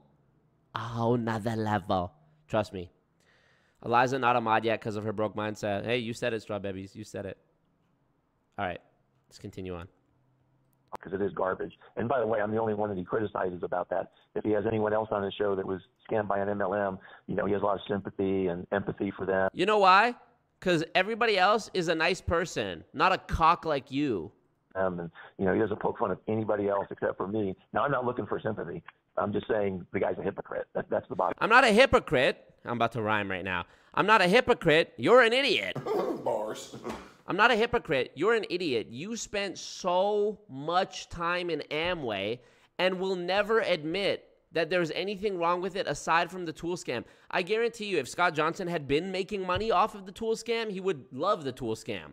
And evidence of that is in the fact that he does a show every Saturday with Peter Mingils, who literally runs his own tool scam selling leads. Again, he's never addressed that criticism either, but let's keep going. Bottom line. So yeah.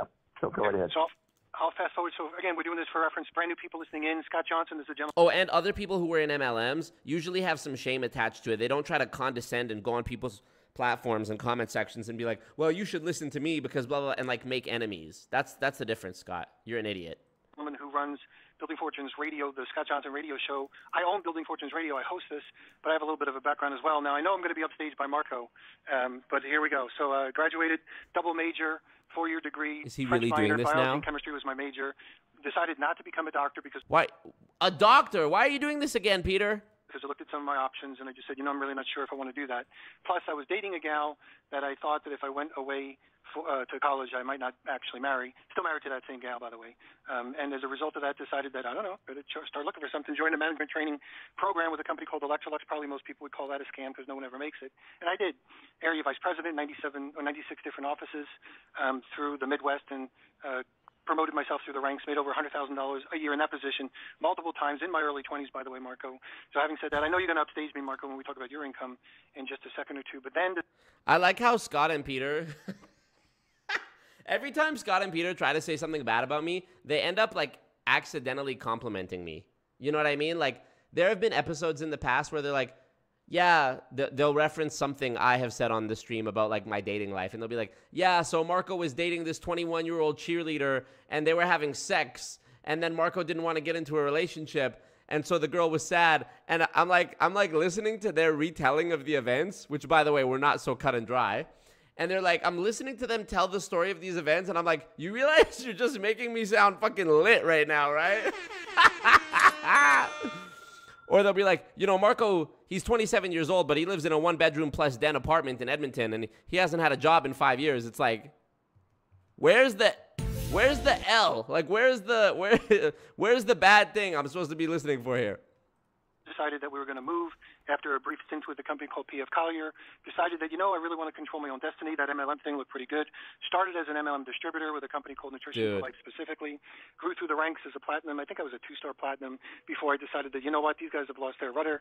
We um, joined and actually was a partner with an MLM company. So I've owned an MLM company.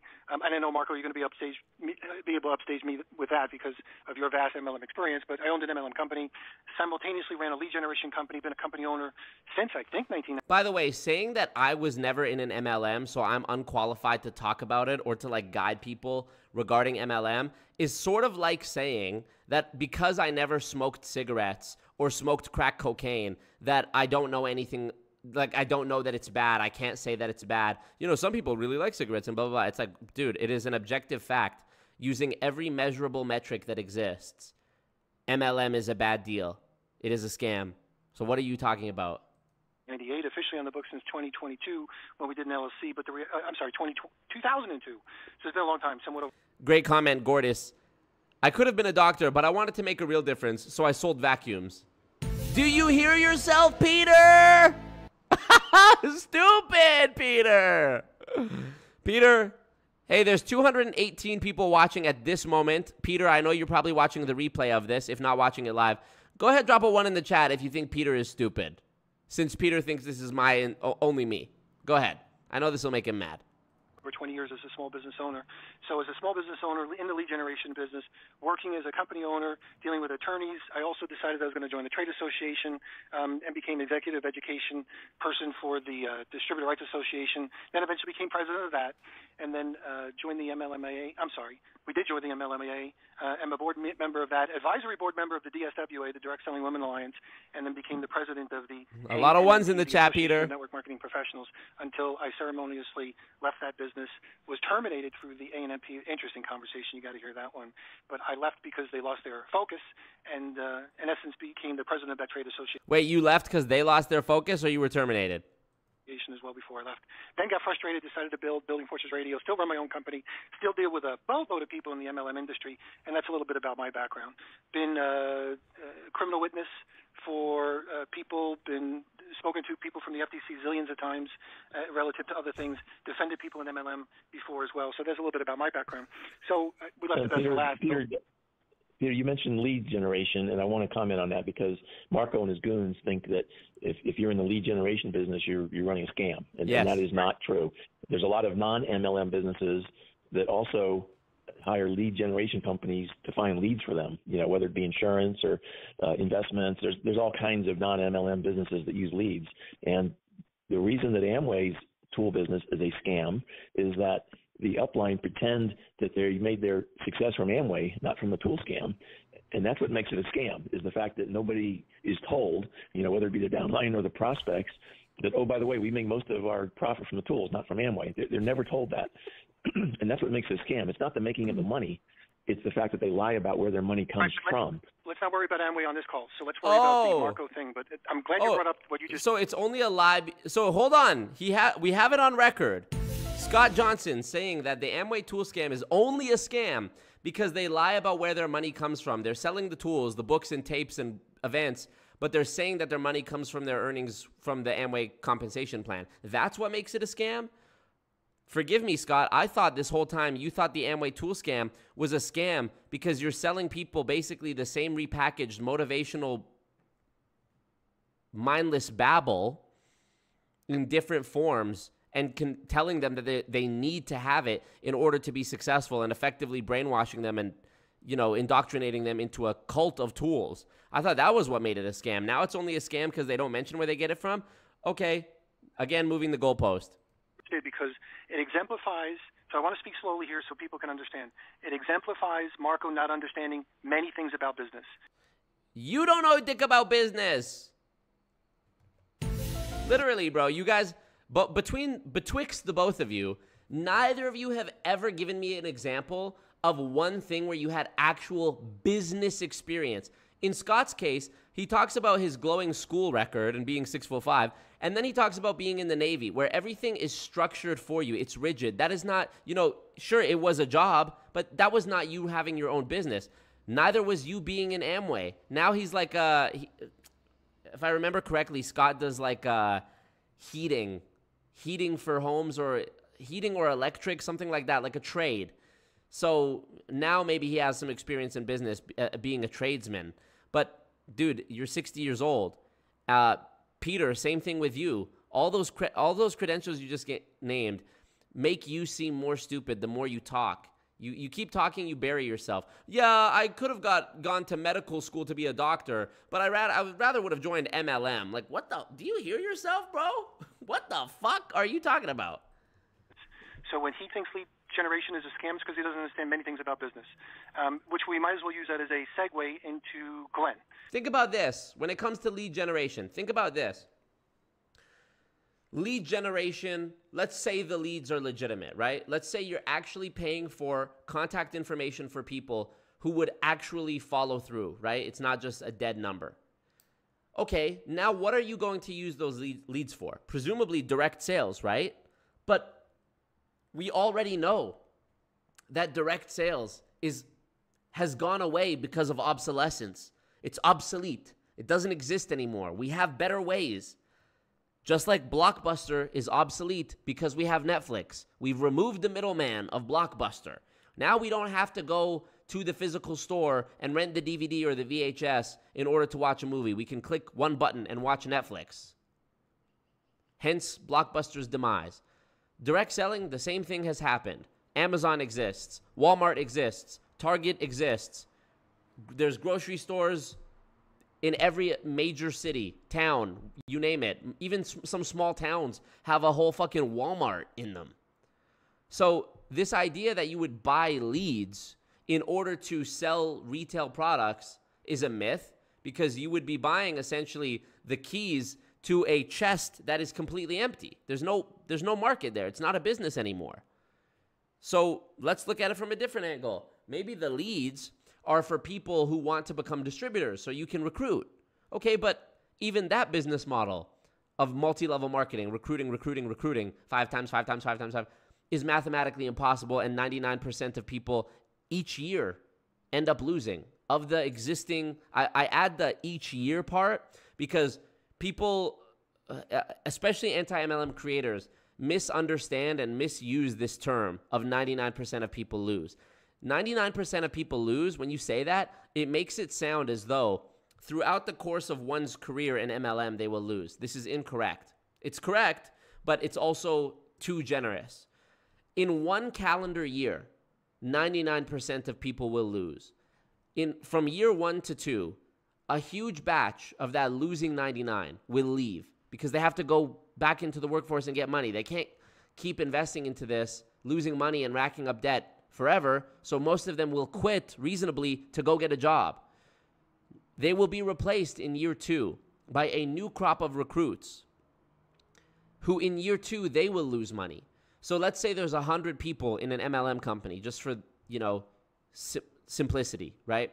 100 people, 99 of them lose. So that means in year 1 one person made money, the guy at the very tippy top, right?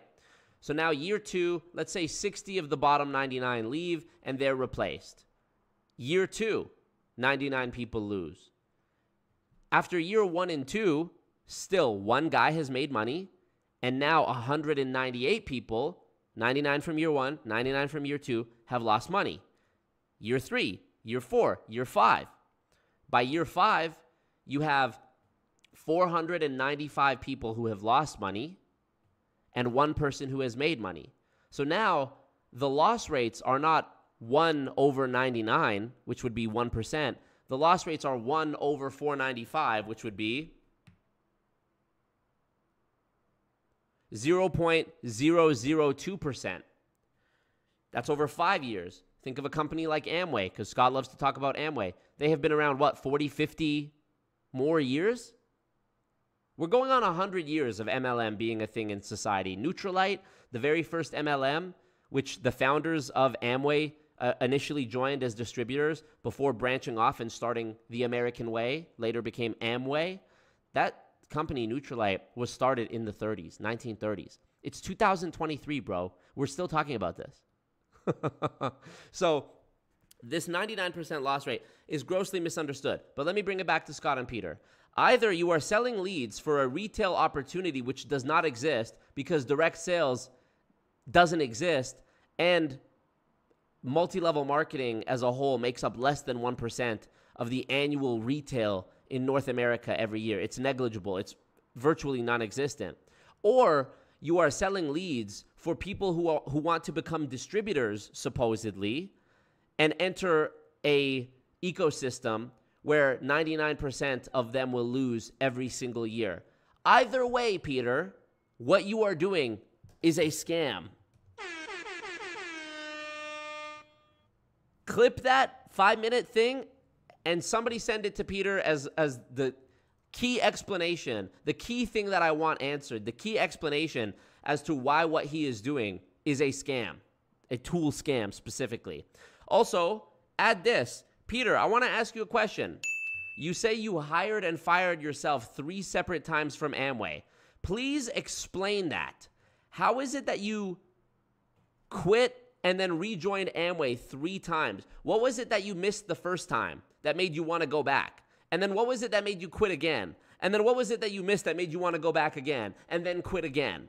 For a guy who claims to be so intelligent and such an expert, it seems like a very uh, questionable thing that you rejoined and quit Amway three separate times, especially when on the last episode with Glenn, you had the audacity from your stupid little fucking mouth to tell Glenn that if you sat down with his dad, who has been chasing the Amway dream for 20 years and losing money, you had the audacity to say to him that if you sat down with his dad, you could straighten him out in a few minutes and help him recruit a whole bunch of people. Well, if that's the case, then how come you yourself had to quit and rejoin Amway three separate times? If you're such a pro at recruiting, what's the deal? Back to this bullshit. So, Glenn, I need you to kind of give us Marco's background in a similar situation because you know everything about him because, like you said, you know 98% about Marco. So give no, us his background. I, I, I, agree with 98% of what he says. Oh, okay. so know, yeah. on, well, we'll help fill in the gaps. So Marco's education level. I must say, I, what I know about Marco is that he was a man who was hurt by an MLM because the MLM cost him his best friend. Um, he's then That's, dedicated a, himself that's, to. that's a description of his story. Let's talk about his credentials. Marco's education background will help you fill out less than a year of college. So less than one year. Don't even know if he finished his first year of college. I did finish. I went to one year of university, Grant MacEwan University here in Edmonton. Did general studies, uh, mostly business related stuff, marketing, economics 101. Enough business study to be able to understand basic economic concepts like supply and demand and know that it is completely senseless for you to recruit an endless chain of recruits, which would saturate the market and cannibalize your own potential sales. Okay. How many MLMs has Marco ever been a distributor from? Marco was smart enough to reject the MLM and when it was offered to him. So I, I, I would say that makes him probably smarter than someone who's. Okay, so we seen call that zero. Cause you would, so you would call me stupid because I was an MLM company owner. I, I'm not saying that, but I'm saying Marco saw I was like, through. no, no, what did you just say? What did you just say? I was not only a distributor, I was a company owner. So that means I must be multiple times stupider than Marco. Is that what you're saying? Well, I think to be a, the owner of an MLM would actually make you very smart. These guys tend to be very, very the owners of the MLM companies are very, very intelligent. How about when I was? Peace out, Aaron. Um, How about when I was a successful distributor? Was I stupid Um, then? Were you a successful trying to distributor? clarify- Now, Glenn is my lawyer, and Scott Johnson or Peter is giving like the most uh, scathing cross examination. trying to clarify your wiggle. We're trying to clarify your wiggle room for answering a direct question about Marco. You're trying to defend that he had never had any. Marco has no MLM experience. Yes or Listen to what's going on right now. Peter is trying to discredit me and disqualify my opinion because I don't have experience being in an MLM. Again, it's like a person who's defending cigarettes or the cigarette industry trying to say Marco doesn't know what he's talking about because he's never even smoked cigarettes to be telling people it's so bad.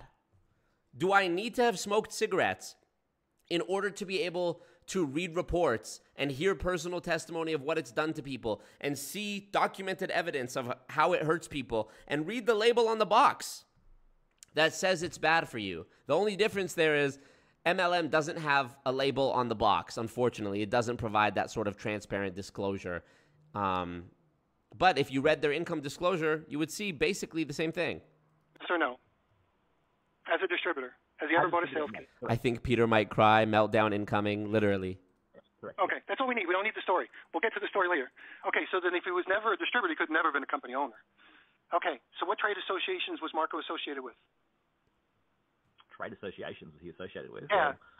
Um, I would have thought at the um, anti-MLM conference that yeah, okay, that's not it. yes, they Well, probably he do. invited, he invited him, he invited himself to be a speaker at the MLM conference. He was not invited. He invited himself. He admitted that as well. So so far, Marco's I was invited. Bill invited me. If they, they- they- they obviously wanted him to be there. If, if they didn't want him there, he wouldn't have been there. There's a Exactly. people who would- Right, he, invited, he invited himself. So he invites himself Yeah, to an but MLM conference. You're right. He got there. He got there. He got a chance to speak. We'll If you talk about that in a second. You guys wanted So hold on, hold on one second. No, we're just we're stating we're stating facts. We're stating facts first, then we're going to go through your arguments. So Marco has no MLM experience, never associated with any trade association, invited himself to his own anti-MLM conference. To his credit, he's actually been able to speak in the anti-MLM conference, and that's why we're here today. So that gives people a little bit about the background of experience level and business knowledge. Oh, how many companies has Marco owned? Traditional or not traditional companies? Traditional or not traditional. My understanding is he's a YouTuber and a very suc- Yeah, Peter, I, I crashed the MLM conference and they just let me speak for 20 minutes. successful YouTuber at that. Well, we, we discussed that before about successful YouTubers. You must have missed our last conference. He, had, he averages about 300 likes. I guess maybe it depends on your definition. Averaging 300 likes, I'm not sure if that's a successful YouTuber if he does it full time.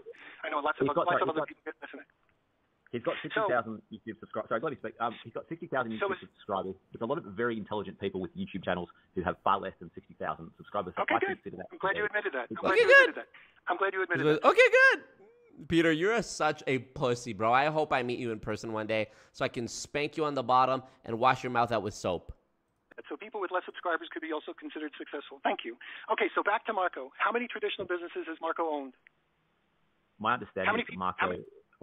How many- Dude, imagine this cutting off a guy who's your guest on your show, not even letting him answer, which you're asking him questions about a completely different person, mind you.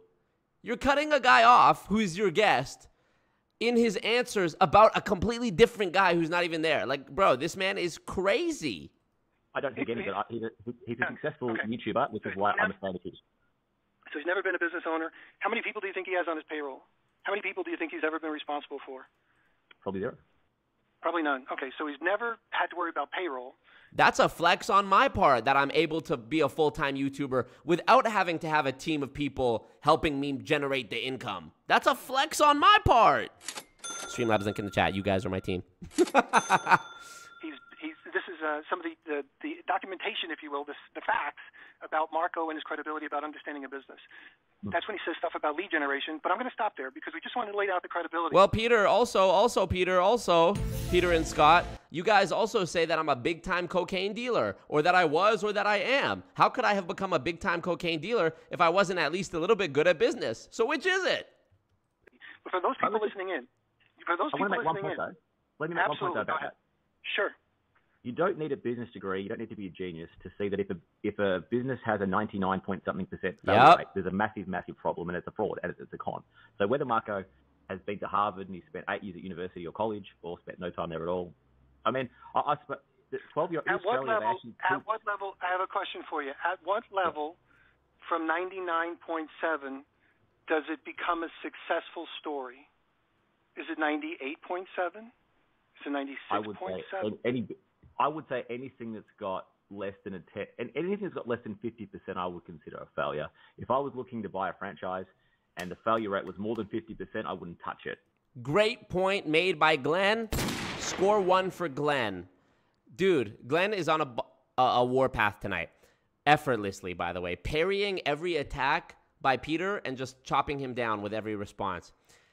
If, if you were to go buy a McDonald's franchise, and I'm using that example because that's actually the favorite example used by people in MLM. For some reason, people who promote MLMs seem to think there are only two career paths in life flipping burgers at McDonald's or joining their MLM company. McDonald's specifically is always, always, always the example they use because it is, for whatever reason, uh, the go-to thing to insult somebody with career-wise when you say you work at McDonald's, which I think is stupid because there needs to be people who work at McDonald's, and from what what I understand, you can actually learn a lot, and they have a pretty smooth business. I judge no person ever who has worked at a fast food establishment. I would not judge a person or their intelligence based off that. As a matter of fact, I think that if you're a person who goes to service based establishments, whether it's a fast food restaurant or a fine dining restaurant, and you don't respect and appreciate the people who work there, you are a piece of shit.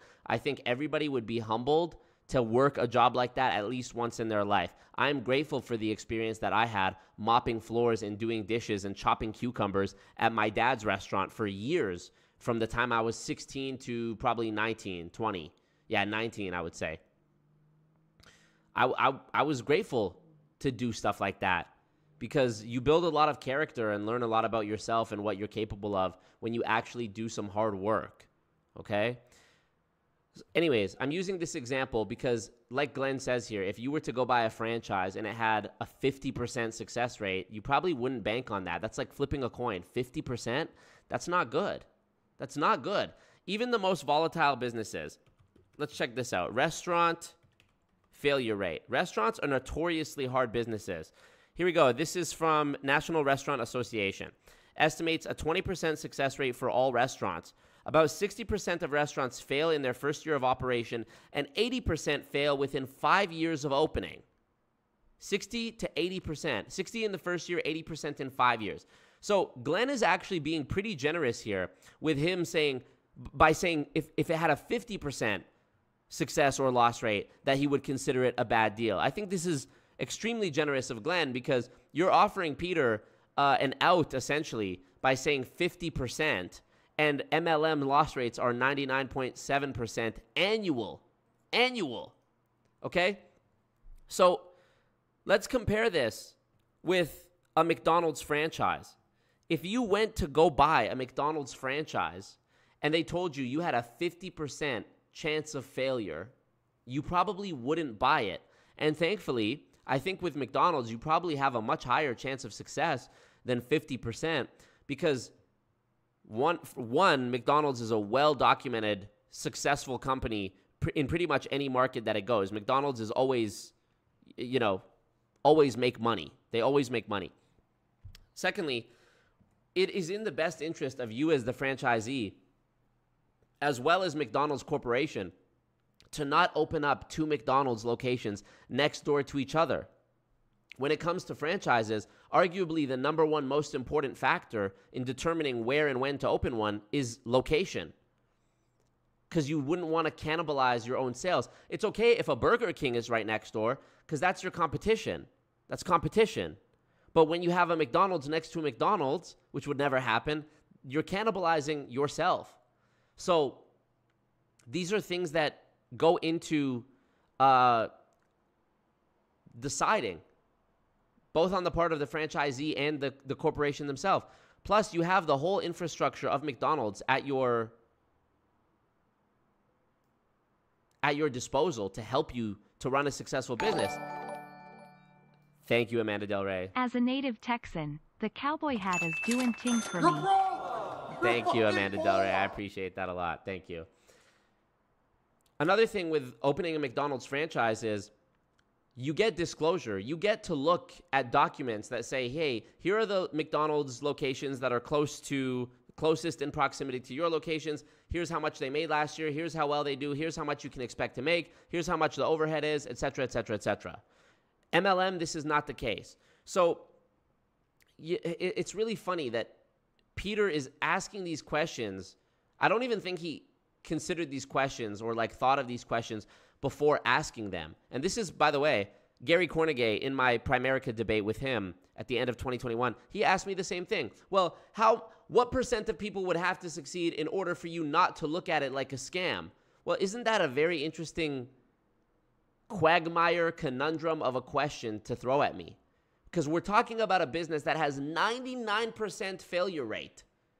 That's not even at that point when it's 99%, that's not even a failure rate. That means that the system is working exactly as it's designed to work. That is actually a 99% success rate in a fucked up way if you think about it, because the profits of the top 1% equal the losses of the 99%. They call it profits, but I look at that as damages. The profits of the 1% are the damages of the 99%. So, very interesting question. Let's see how Peter responds to this, uh, you know, answer of 50%. You know, you don't need to go to university. You don't need to be highly educated to know that if a business is failing more than half the time, that's a very, very risky investment. More than 50%, that's risky. And business people don't touch investments with a more than 50% um, risk rate so unless there's a massive, massive return. You know, but a well, keep in mind that keep in no, mind no, that no, MLM is a very, very low bar. It doesn't take hardly any money to join an MLM, so it's very easy to enter. You know, almost. And what? So because it's cheap to enter it, we should ignore the loss rates?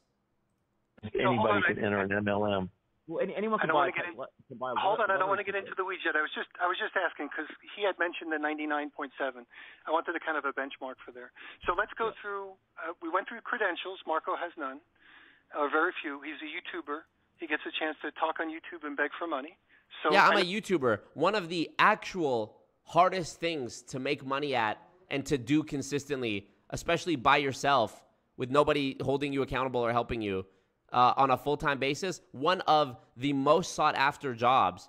I think it is the most sought after career for young people, like for kids, is being a YouTuber. I literally think that is true. Let me see if I can find a source. Most desired job for kids. Top, here we go, from tubefilter.com.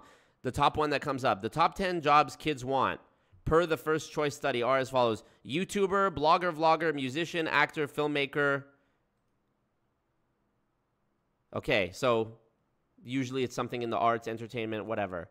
But it's not hard to imagine. If you have children in your life, cousins, nieces, nephews, you know that they want to be YouTubers. My nieces also are obsessed with YouTube and the YouTubers they watch.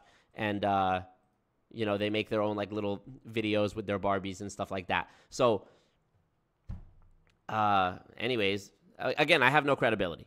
I know we're, I know we're, Clint, I know he's listening. So we're just kind of poking at him a little bit. So don't worry about defending us when we poke at him. Okay. Let's poke at his real arguments. So you have six points that you want to bring up. So I'll let oh, you do most of the. It's all about the speech. This is about the speech, yeah. We're not talking about Marco in general or his background Correct. or his history. Correct. or the MLM model. Okay. That's good. All right. So Even this is the, uh, even the stupid speech. people say smart things every once in a while. Oh, there you go. Okay. So go ahead. All right. So his first point was about the fact that his friend, he lost a friend because of the fact that he pointed out some of the things that were wrong with the MLM business model. Damn. Okay, so they're actually talking about the conference. Let's go. And his friend was of the view that, well, his friend had been told. He said, I knew you were going to, to do this. I knew you were going to say that. Now, I think it's very interesting where that comes from. There was Dexter Yager wrote a book, and it What was up, called Bad Dog? Don't Let Anyone Steal Your Dream. Now, the person that told Marco's friends, I'm warning you now. A lot of there's a lot of negative dream stealers out there who are going to try and steal your dream. That wasn't his idea. He is copying the same tactics that Dexter Yager was using 40 and 50 years ago. You know that everyone's going to everyone who you tell about I'm in this MLM business, they're going to talk it down. They're going to say 99% of people fail. Therefore, what you do is you demonize the people who criticize the business, and you say stay away from those people. Those people are bad news. They're going to drag you down. They're, they're jealous of you. They're dream stealers. They're trying to steal your dream. Um, so I can relate to that because the things that Marco's friend said to him are things that my father has said to me. Me and my dad had a massive falling out because his upline was telling him, Glenn is trying to steal your dream. He's dragging you down. The reason you're not a diamond is because of his negativity. So I can absolutely relate to what Marco said because I've dealt with it firsthand. Marco dealt with it for a short period of time. I've dealt with this for over two decades. Can I I've can I interrupt?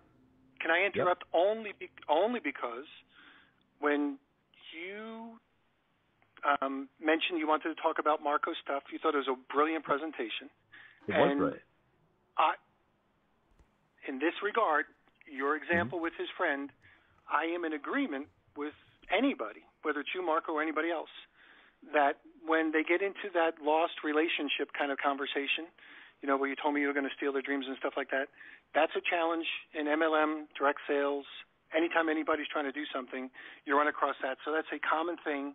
If we needed a check mark of agreement, at least for me, I can't speak for Scott. I'm in agreement.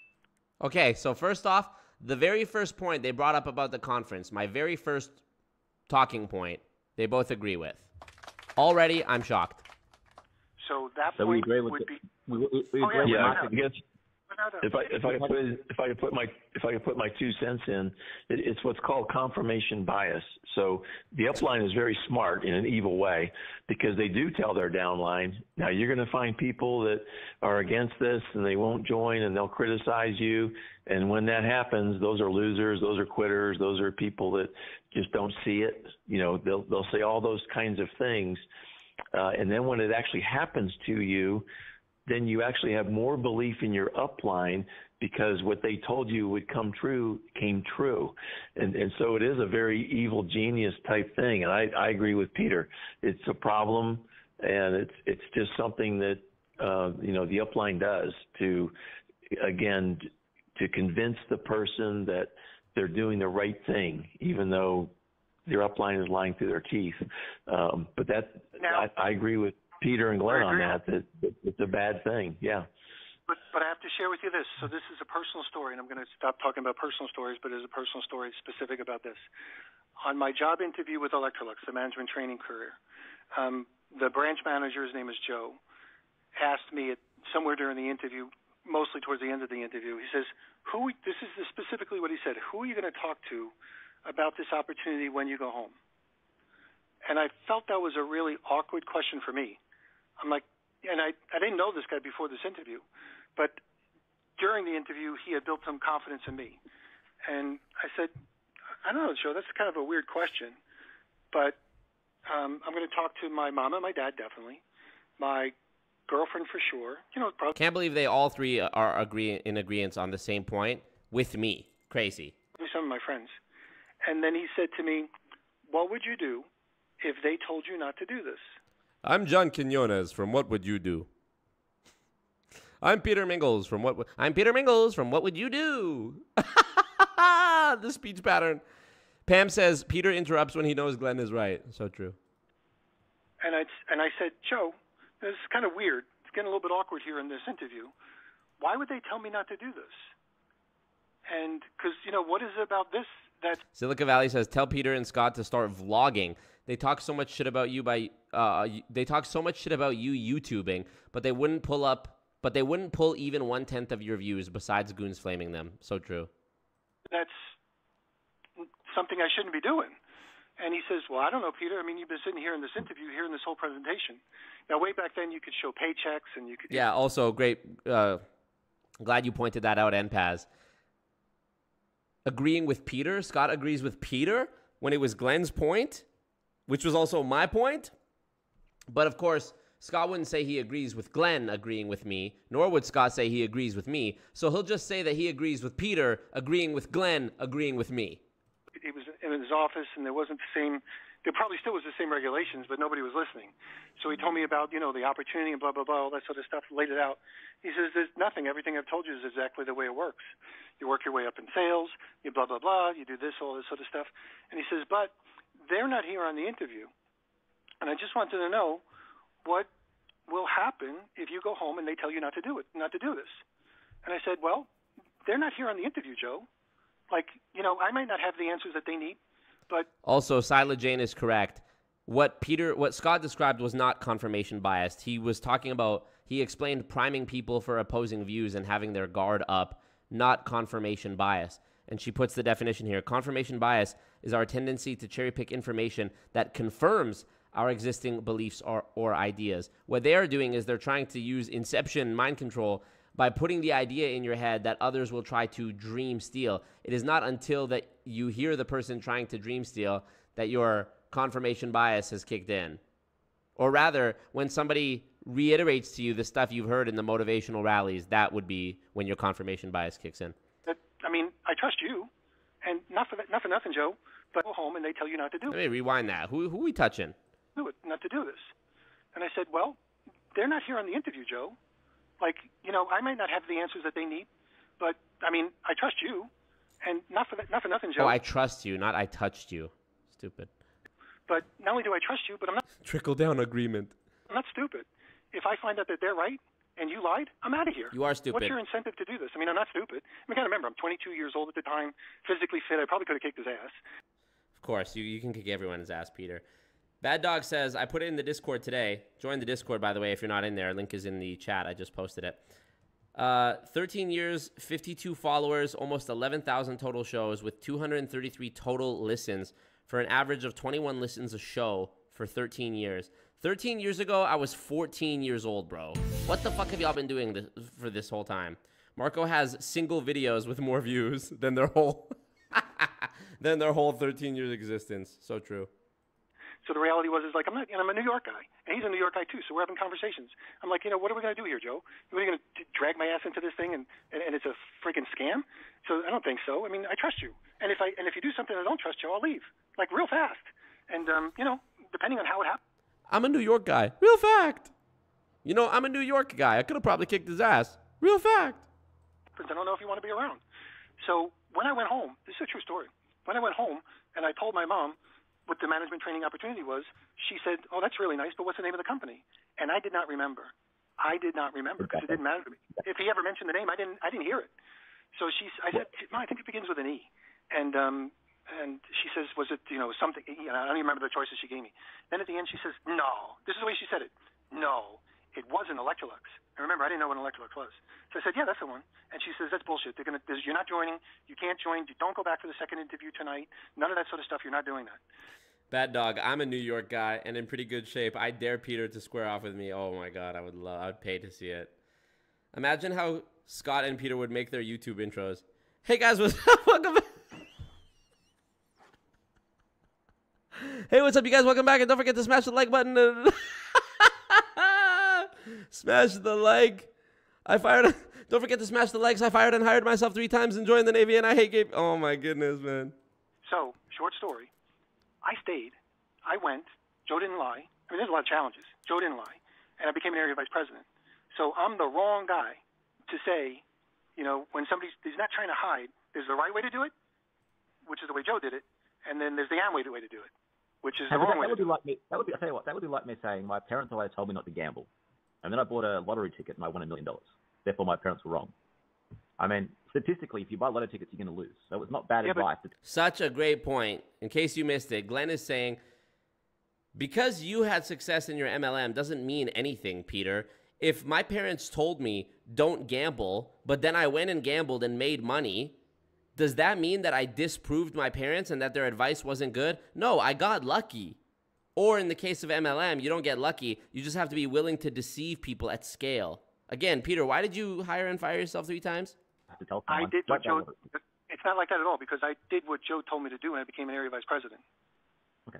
It, it, your Well- analogies are flawed. You're, you're you're trying to reach for an analogy that's flawed. We're talking I- about I apples think to apples. I did I did what Joe told me to do, and I became an area vice president. That's impossible to argue with. I did what Joe Yeah. told me. I followed the system. Jimmy says his stance is most MLMs do it the wrong way, but his source of income is selling leads to most MLMs. Exactly. Make it make sense. me to do. And some, some Okay. people ignore ignore the advice of their parents and they, and they gamble and they win. That doesn't make, mean the parents' advice to not gamble is bad because on average, if you gamble, you will lose. Sometimes you will win, but on average, you will lose. Some, Get some 'em, people Glenn. Have become wealthy. Get 'em. All right, so you're, Doesn't let's it a let's good move idea. beyond that because now we're playing word games. We're playing word games. Well, Marco's gonna love this. let me- No way, Peter. You are such a fucking pussy, Peter Mingils. Well, let's move beyond that now because now we're playing word games. Excuse me? Playing word games? Bro, you have lost. Your little ant brain has lost to a greater logic. A smarter person has come in and shown you the error of your ways and proved to you with a rock solid analogy that your success in MLM doesn't mean anything for you trying to legitimize it. Glenn's point is 100% the perfect rebuttal. If I tell my kid, don't gamble, and then they went and made money gambling, does that mean that my advice wasn't good? No. And immediately, okay, let's move on. Uh, we're playing word games. Peter, look, Peter, look in my eyes. Peter, you are a pussy. Put a one in the chat if you think Peter Mingils is an absolute pussy. Marco's gonna sit Yeah, there and jerk off with. We're, let- let we're, me make it- we're playing let me- word let me games. make another- Marco's gonna say we're backing down. Go ahead. Let me make another Hold on, let analogy. me rewind. not- Playing the All lottery. right, so you're, Doesn't make let's it a let's good move idea. beyond that because now we're playing word games. We're playing word games. Marco's let me- gonna love this. me- Marco's gonna sit Yeah, there and jerk off with. We're, Marco's gonna sit there and jerk off with this. Yeah, with you losing? Yeah, you're right. we're, let- let we're, me make it- we're playing let me- word let me make another- Marco's gonna say we're backing down. Go ahead. Let me make another insecure. analogy that has nothing to do with scams.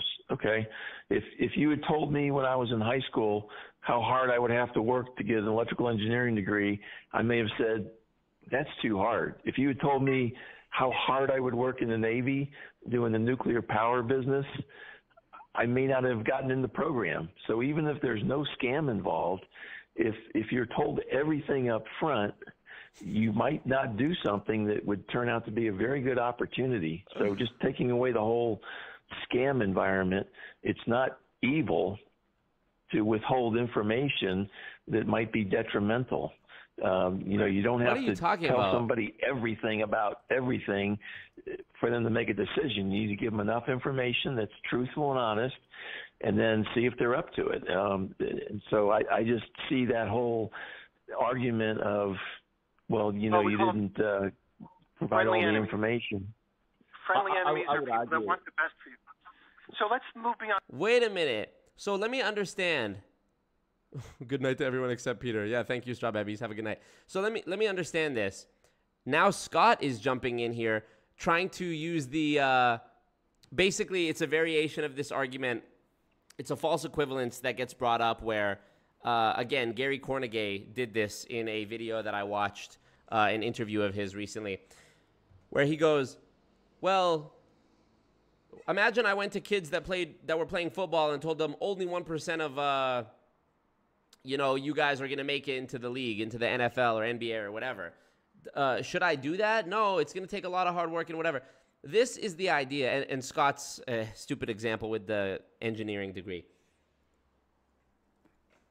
You guys are comparing something where your level of effort actually is a factor in determining success. You're comparing that with MLM, something where the losers are already from you know more or less predetermined because unless you are starting the company, you're not in early enough to be reaping the rewards. You know what I mean? And this is where the sort of five by five by five or three by three by three comes in because unless you're near the top of the chain, the the bottom layer of people is always going to be the people who are putting money in but never actually getting to the point where they recruit even a single person.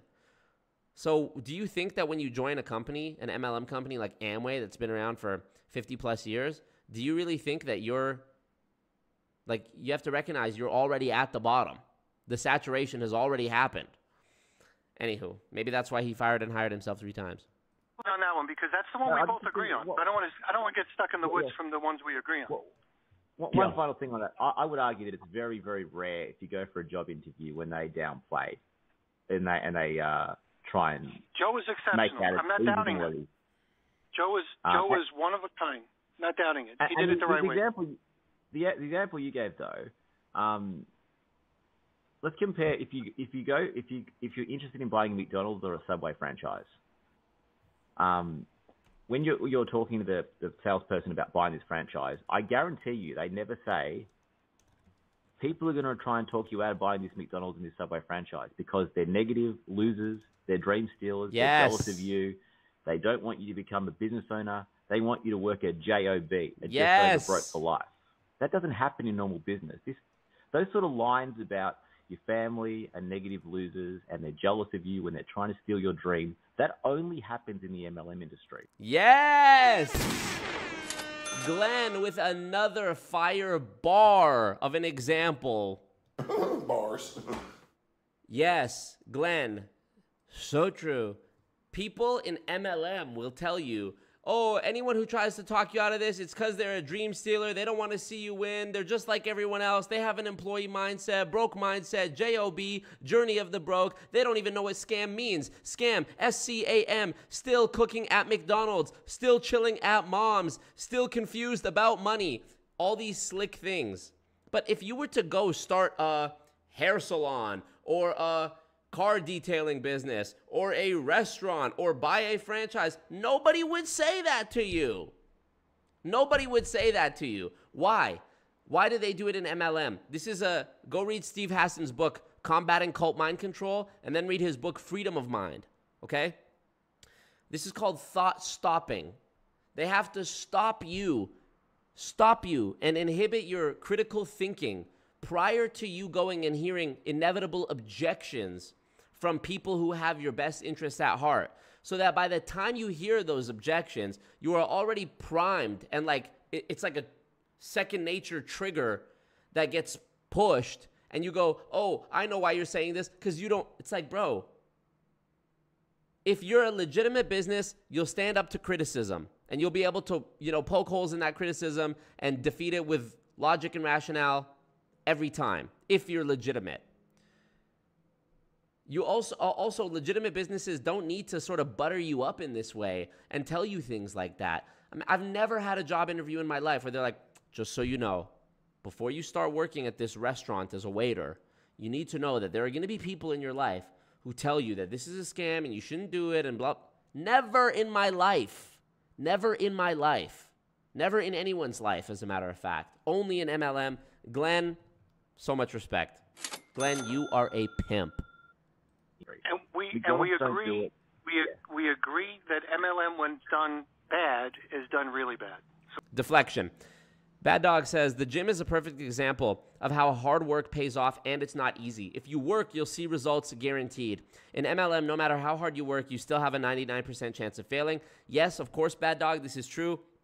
But that doesn't stop those in MLM from trying to compare the gym to their opportunity. Great example of this is my ACN video. Nathan uses that specific example. He says, you know, if somebody tells you, oh, I did ACN, it doesn't work. Yeah, well, I have a friend who joined the gym and he's still fat. Not only is this incredibly fucking just rude and low, like not classy, but it's not true. The gym actually does depend on your effort. Let's let's continue on. Glenn is barring out right now. I tried to hire myself at Apple. It didn't work. So I used so I sold pre-used iPhones in front of the store. Police came, fired myself on the spot. Hilarious. Glenn won the chess match. Peter and Scott are the pigeons knocking over all the pieces and crapping over the board like they won. So true. Glenn is a G. So we agree. so we agree. Glenn with a capital G. no, hang on. I, I, we, we, we agree. You, hang on. I think it's done. I don't think there's such a thing as an MLM company that's done right. Let's just recap the last minute here. So, Glenn brings up this uh, this great example, right?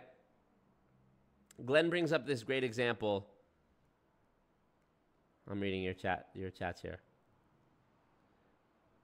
Okay, so Glenn brings up this great example of how no other companies do this type of schmoozing and telling you these, oh, people are going to try to steal your dream. No other companies do that except MLM companies. And Peter goes, well, that's only bad MLM companies, so we agree. So we, we kind of we agree but disagree. You, you say it's only done bad sometimes. I say it's done bad 100% of the time. Yep. But we hang on, but we all agree that Marco's the opening to his speech about the story about his friend is is spot on, and it's really he, he spoke really well and explained it well. There's nothing in there that he said that was factually wrong. Happens every day. I wouldn't call it brilliant. I wouldn't call it brilliant, but we agree. Let's move on to the next one because we're going to run out of time. Yep. So we're two for two, with Peter agreeing. Glenn, You've done something, my friend. Yeah. Scott agrees too. What's number two? Yeah, what's, what's number, number two? Peace out, Mister. There's no spoon. He said that it's not direct selling, which is correct. Amway and MLM companies used to be direct selling. They used to go door to door, and they, their focus used to be selling things to customers. Okay, now he's addressing my the next point of my conference speech, which is that MLM is not direct selling. This is correct that has shifted to instead of selling to customers, what you're doing is you're selling franchises and an opportunity. You're not worrying about selling the product, you're worried about selling the opportunity to somebody. You're saying, hey, I can help you become a multi-millionaire. Follow me, I can help you become rich. Um, and quite simply, direct selling does not exist anymore. I mean, I can't recall the last time. I was I was thinking last night. When was the last time a direct salesperson came to my door?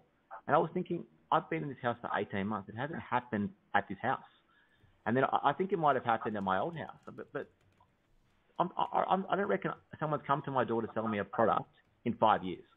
And yet, there's supposedly millions and millions of direct sellers in Australia. It's, it's clearly a lie. It's clearly not true. Um, what we have are millions of people trying to sell a, a fake franchise or a business opportunity where they can become financially free forever. Yes. It's, it's just simply false. It's not direct selling. Marco's 100% right. It's not direct selling. Woo!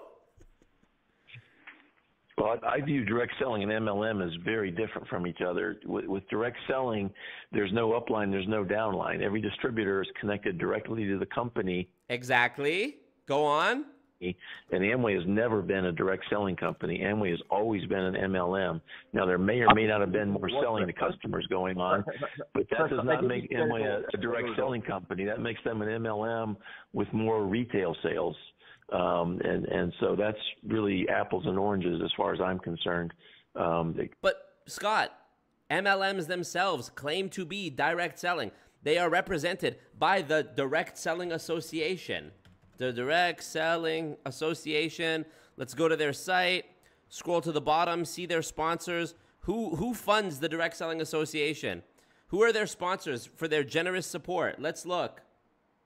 Let me move myself out of the way here. Let's look. We've got Amway, Arbonne, Nu Skin, USANA. Look, some of these I haven't even fucking heard of, bro. For Life, I've heard of that one. Shaklee, that's one of the oldest ones, by the way. Read Ponzinomics if you haven't. I mean, this is the direct selling association, bro. This is this is their own shit.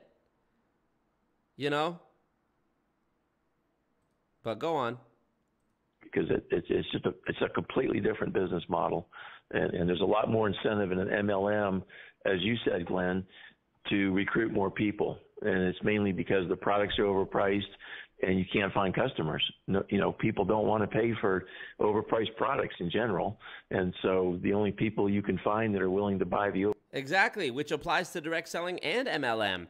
Direct selling doesn't exist because you could just go to Amazon.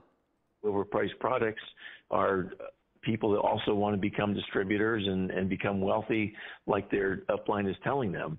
So, you know, to me, that's those are two very different things as far as, uh, you know, the, the pitch, so to speak. Um, Peter, what's your take on that? Well, in my world, we used to use a definition of direct sales is when you go to them, retail sales is when they come to you. Nonsense. So Amazon would be a retail sale. Walking into a department store would be a retail sale. Walking into a nutritional center would be a retail sale. And then if a sales rep was involved call, talking to you outside of that, so if you made a phone call, sent you an email, sent you a text, knocked on your door, did a trade show, any or all those things, that would be my definition of direct sales. So I would agree with Glenn that door to door direct sales is going down. But other types of direct sales may have taken their place. So direct sales itself is still viable. Whether it's super growing or not, I'm not sure. Wrong. Um, that part I don't have the stats on. The door to door part definitely has gone down. Party plans may have gone up depending on the industry. Wrong. Um, but people still selling over the phone, through email, through text. My definition of direct sales the salesperson going to the customer as opposed to the customer going to the salesperson, there's a lot of people still actively involved in direct sales. Nonsense. Absolutely fucking nonsense. But when you start in, in Amway, you're on three percent. So that means if you were, imagine you're a really great salesperson, you went and you sold three hundred dollars worth of Amway Get products, 'em, you could earn Glenn. nine dollars. Is that not proof that it is not direct selling? Because nobody, literally nobody, can make a living selling products. To Hey, who is in here with the nickname Kip Kirby? You better tell me who that is, bro. Who is Kip Kirby? Kip Kirby is a character from my stream that it that I started doing in like 2021. I haven't done him in a while. Who's like he's like an old uh, conservative, like unintentionally racist baseball announcer from like the 40s. Who is Kip Kirby, bro? So this is so only people that don't have direct sales backgrounds use the argument that you're using. So only people that don't have direct direct sales backgrounds using your arguments. Here's the dirty facts about direct selling. The new guys always earn the smallest commissions because the new guys come and go. Turnover is necessary and usual in direct sales. So it's the You- you- guys you that are Oh, it's Jared. What up, Jared? Hilarious. you can't do So hold on, Amway hold and on. just sell products. Hold on- can you? hold you on have one to second. recruit. Uh, hold on one second. So, indirect sales, it is very common for the new guy to start off at the lower commission and based on either his sales or his accomplishments as far as recruiting, meaning produce other salesmen. Recruiting isn't a negative term except for an MLM guy. So, for recruiting, which means build your sales force, that's how you earn bigger commissions. I'll use an example. I think when I started with Electrolux, my beginning commission was 20%. And then I had to gain up to at least 10 sales. And then I think I went up to like 25 or 30%. And then when I hit, I don't remember the number, they gave me back the difference. They, like, for instance, if I hit 50 sales, this is wrong numbers. So I don't remember the numbers because then we're talking about 30 some odd years ago. So if I hit, say, 30 sales, not only did I get the higher commission, but they paid me back the commissions that I didn't earn. So the difference between the 20 and 30, the 25 and 30 and stuff like that. They give me an incentive for sticking around and make sure I hit the 30. In the encyclopedia business, same thing. New guy started off with the with the smallest commission. Encyclopedia business. Going door to door selling encyclopedias, bro. Make it make sense. Again, we don't have those anymore because we have Google. You don't need an encyclopedia. You have a phone in your pocket that can look up any word ever. Direct sales does not exist. After your 10th sale, you get bumped up a commission. After your 50th sale, you get bumped up a commission. So the new guys always, always in the direct sales business model, I shouldn't say always, lots of times in the direct sales business model, start off at a smaller commission. And only people that are. What's that? Not three percent. Amway stuff. It's three percent. What up, Jose? They start Three at three. percent is outrageous. That's what- if they if they get people to start off make at three, if they get people to start off with three, you're absolutely right. That's the reason why I quit Amway three times, Glenn. So we're in agreement there. That's the reason why I quit. I said I can't figure out how you guys make any money here. I need to make. When I was thinking about transitioning out from Electrolux to anything else, I needed to have a two hundred thousand dollar a year lifestyle. So that's where I was. Bullshit. two hundred thousand a year, and I could I looked at that Amway compensation plan and I said, how the hell with this shitty plan does anybody ever? How can they ever? I mean, you have to move truckloads of stuff. I mean, mountain loads of stuff to be able to get to two hundred thousand dollars in a yearly.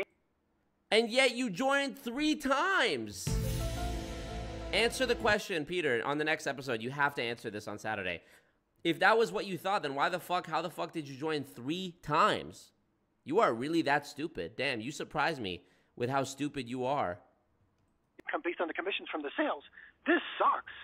That's why I quit three times. And when I found out the most of the massive profit was made on the tools, on the Dawood, uh, I don't, I can't, comp- I can't promise that I'm coming down to Calgary for the Stampede, but uh, I can promise I'll be going to see Nickelback. the backs of the newer people. That's why I left. So you and I are, are, are in agreement with direct sales and small commissions, but lots of direct sales companies do that. So that's not necessarily the sign of a bad a bad company. It's a common practice. If you take a look at those insurance guys, those insurance guys pay. This is the argument he had against WFG. Those insurance guys make a little bit of money. Number one, because in insurance you get advance commissions, which is worse. Meaning when the customer cancels, you owe it back. I agree with that, by the way, uh, Peter. I will agree with you on that, sir.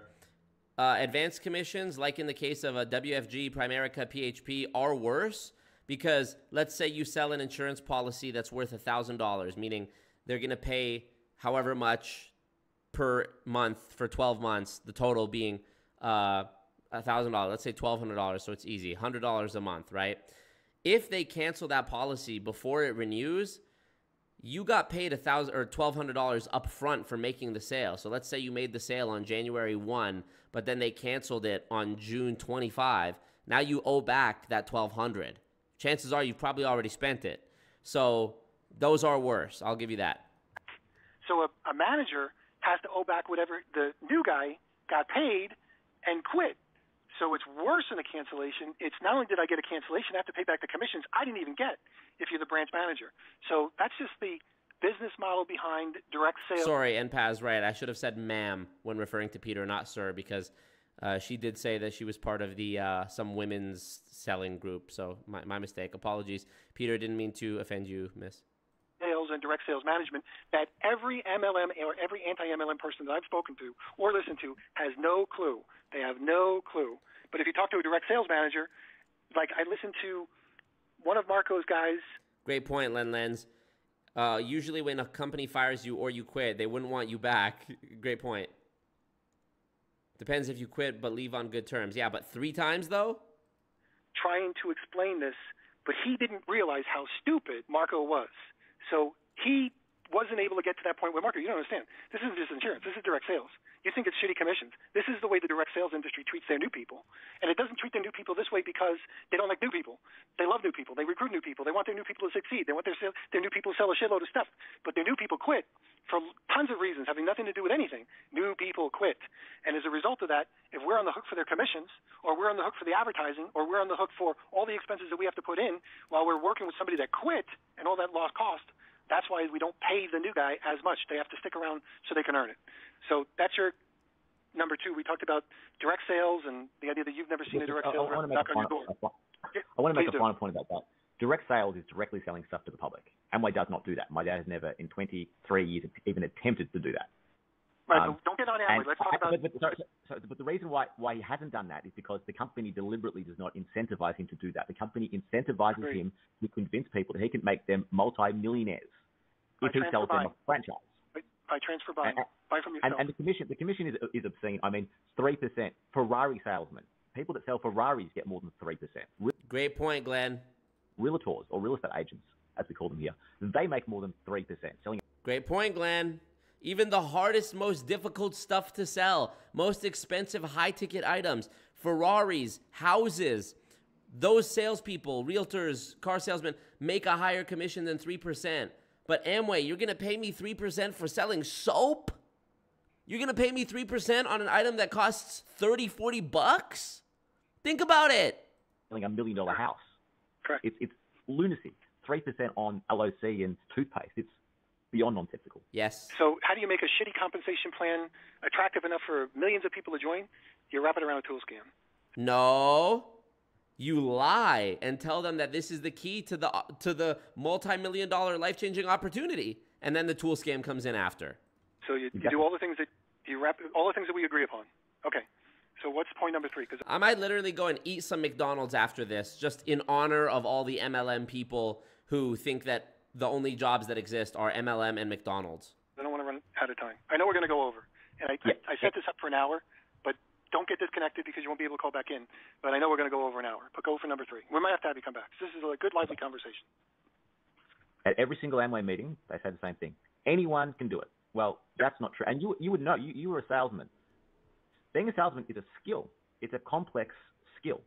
Not everyone has that skill. Not everyone has the ability to learn that skill, the conf- the self confidence and the to, you know to approach people, to, to approach somebody and say, I can help you become a multimillionaire part time. That's that's incredibly skillful, and there's an incredibly small percentage of the population that actually has that that skill. Some people it doesn't. You could get them the greatest salesperson on planet Earth, and they would not be able to learn that skill. So when Right. Marco says that, what he says about that is he's absolutely spot on again. Okay. So you're, you're we let you do your six so far. So you're picking three that we would all agree with. Yep. So what's the next one? So we, we agree with basically the first three, um, and then the the, uh, the definition. of, Damn, spot on so far. Let's go. I agree that it's sold, I agree that it's sold wrong. The idea that you say everybody can do it was never the way that we recruited people in my businesses, Mm-hmm. but it's the way that a lot of MLM people do it. Everybody can do it. All you do is get two, get two, but get two, or like Marco says, get five, or get five, or get five. But we'll talk Yeah, about but, that but, later. but I think Marco did, did a very good job of actually explaining that. Um, he also talks about the mindset training now, mind, and he says that mindset training is endless. So All roads lead to tool scam. Yeah, somebody create a flow chart where it's like you s- e- every every one of the pathways leads to tool scam. that's what's great about for the company's point of view, the mindset training is because when someone fails, you just say, well, your mindset's not right yet. And they're thinking, well, I bought 150 tapes over a five year period. Oh, you got to buy more tapes. You got to you got to go to more functions. Um, I, I remember my father. Um, there was a function on in Melbourne that cost $230. This is in 2001, and his view was that this was going to be a life changing night. This was a $230 investment in himself, and this was going to change his whole damn life didn't change his life, and then a couple of months later, he was going to another expensive function, and that one was going to change his whole life. So yeah, when Marco talks about the, the mindset training, it's a good con because it's endless. It- It's very hard to just prove it didn't work. You can just say, well, the person didn't listen, didn't pay attention. Um, it's, it's a classic. It's a be- common, common theme, common theme in the self-development industry. The book that you didn't read is the one that you have to. You know, the one that you missed. You know, you got to come to the next invention. Uh, Tony Robbins, you got to be at the next level. They're always selling the next event when the last event is almost over. So I agree with you. So I guys, mean, you, I picked, mean, I- Glenn, you picked four easy ones that you knew we would agree with. We're going to have to have you come back, and we're going to have to go over our list. But what's number five? Well, it's more than y'all have covered in two months since the fucking conference speech has been out. Bossio. uh, they talk about the fact that everything is about to collapse. Um, I remember in 2001, Amway in Australia was saying that in 20 years' time, there's not going to be pensions. The government can't afford pensions. We've got an aging population. There's going to be no pensions. Well, here we are, 23 years later. There's still pensions. Exactly. Great point, Glenn. Another great point by Glenn. In my new video, you are going to see uh, one of the top recruiters in this company who's been in it for 35 years. He has YouTube videos that were released in 2009. He has YouTube videos that came out in 2020, 2021, 2022, 2023.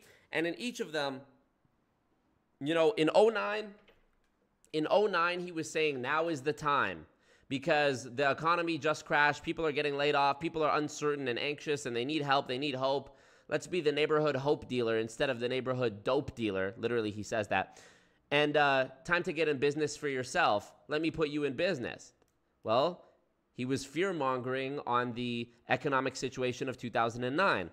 Fast forward to 2020, and he's talking about how he just had his greatest month ever in April of 2020, the month following the lockdowns, because people are losing their jobs. Now is the time to join. 11 years later, now is the time to join because there's more uncertainty and whatever and whatever and whatever. And fast forward, this just continues on and on. They will always find a reason to sell you the, you know, this is called artificial scarcity. Get it now. The opportunity is going to pass you by. And yet, this guy has been in it 35 years using the exact same verbiage and tactics. So, great point, Glenn. They're always saying the share market's going to collapse. It hasn't collapsed in Australia. The housing market's going to collapse. They were saying this 23 years ago. The housing market's never been higher. Everything's always about to collapse, and it never does. But they keep saying it. Today, I, I got in an argument with my father about two months ago. Um, here in Australia, interest rates are going up, and his dad's gone. They told me this was going to happen. They told me the interest rates were going to rise, and they told me that the house prices were going to fall. And I said, "Hang on, you were saying that to me in 2001." And then he called me a negative dickhead and hung up the phone. Oh, that sucks. you know, like, but this is the sort of Marco. Yeah, that's very really much. right again. He's, he's been Um, brainwashed. He felt like brainwashing. Absolutely. Yeah, wrong thinking. I agree. It, it's always I- um, everything's going to collapse. I get it. MLM we get it. We agree. always- we agree. yeah. You pick five easy ones. Go ahead. Did you just shh You're a guest? You're a 60 year old man, you fucking bitch. Have some respect. Shh. You're a professional on a radio show going shh. Grow a fucking pair of nuts, Peter. Peter, I would literally slap you, bro. Straight up. I would slap you silly. I would wash your mouth out with soap and spank you on the bum like my like you were my son, bro. Go ahead. Where's the sixth easy one? We're gonna Scott. Uh, uh, Scott, we have to have him come back. Howdy, Specs. I, I was going to make a- a- another point. that They're always saying that uh, the MLM, MLM industry is about to explode. And actually, when I when I got in, I, they didn't call it Amway Amway in Australia in the early 2000s. They used to call it A2K. Have you guys heard that before? A2K? No. Yeah.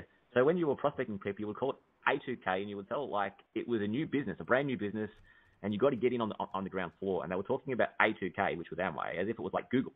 If if you don't act quickly, you're going to miss it.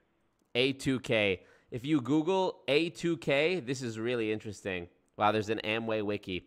If you Google A2K, the second page that you get, the second result is log into Amway, Amway Australia. Again, just another funnel.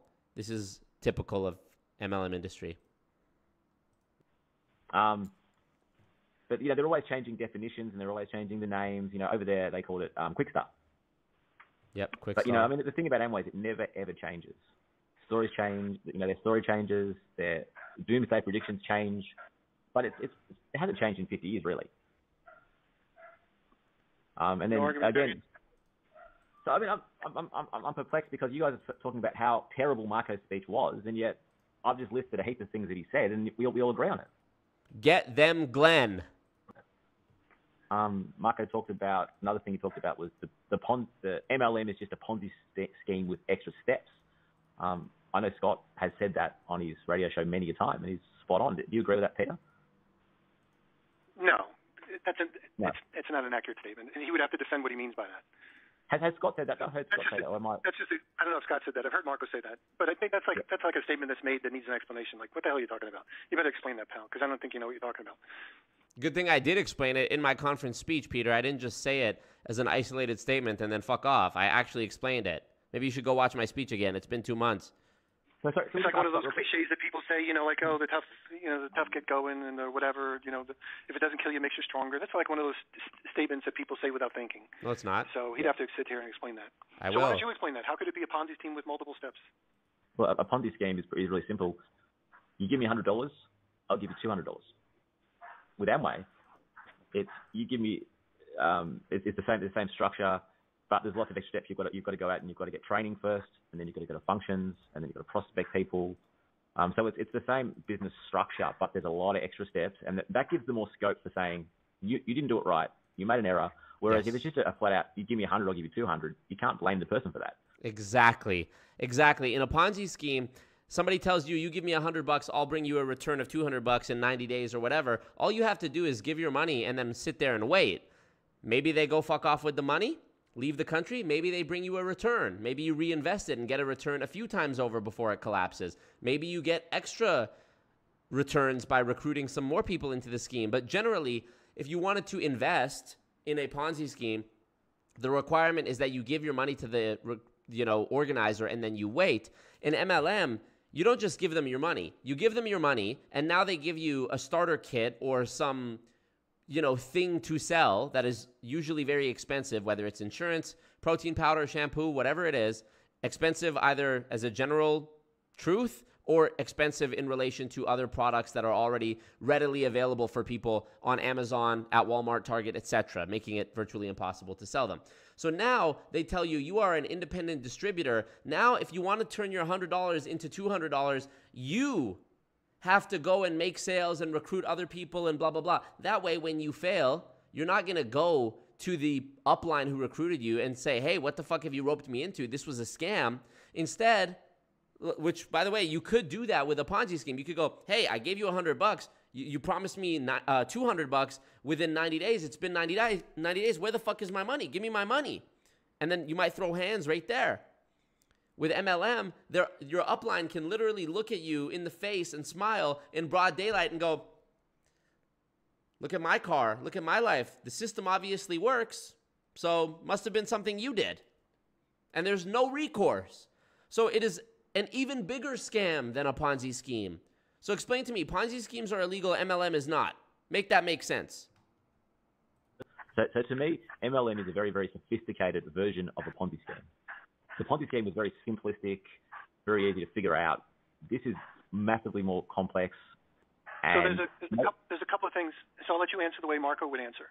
So yeah. a lot of people, so I got to tell you this, a lot of people, including myself, for most of my career, would have not been able to explain the difference between a pyramid and a Ponzi scheme.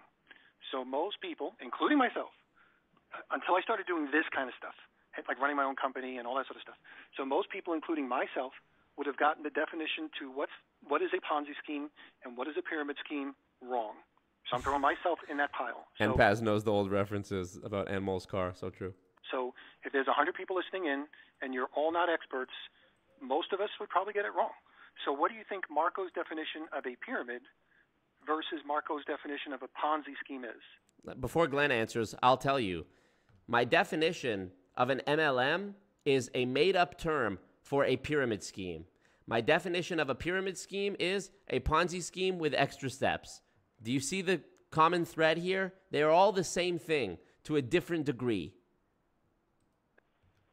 And I'll say this in the most simplistic way possible, and I think Marco would nod his head um, in agreement.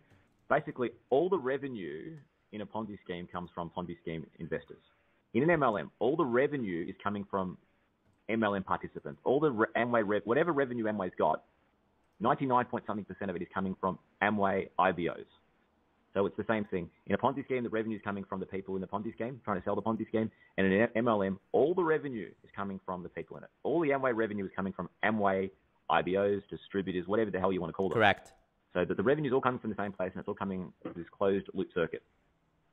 Now, to me, any business that doesn't have outside consumption, which is what Scott talks about a lot, retail sales, it's a sophisticated Ponzi scheme. Amway to me is a very, very sophisticated Ponzi scheme. And if the man so, hold invented, on a second. Do you do you mean? I'm going to ask you to think your yeah. question through. Yeah. Wouldn't you really mean? And I'm not putting words in your mouth. I just want you to think it through. Amway would not be a sophisticated Ponzi scheme it would be a sophisticated pyramid scheme. Correct. Not So, same thing to me. Ponzi and pyramids.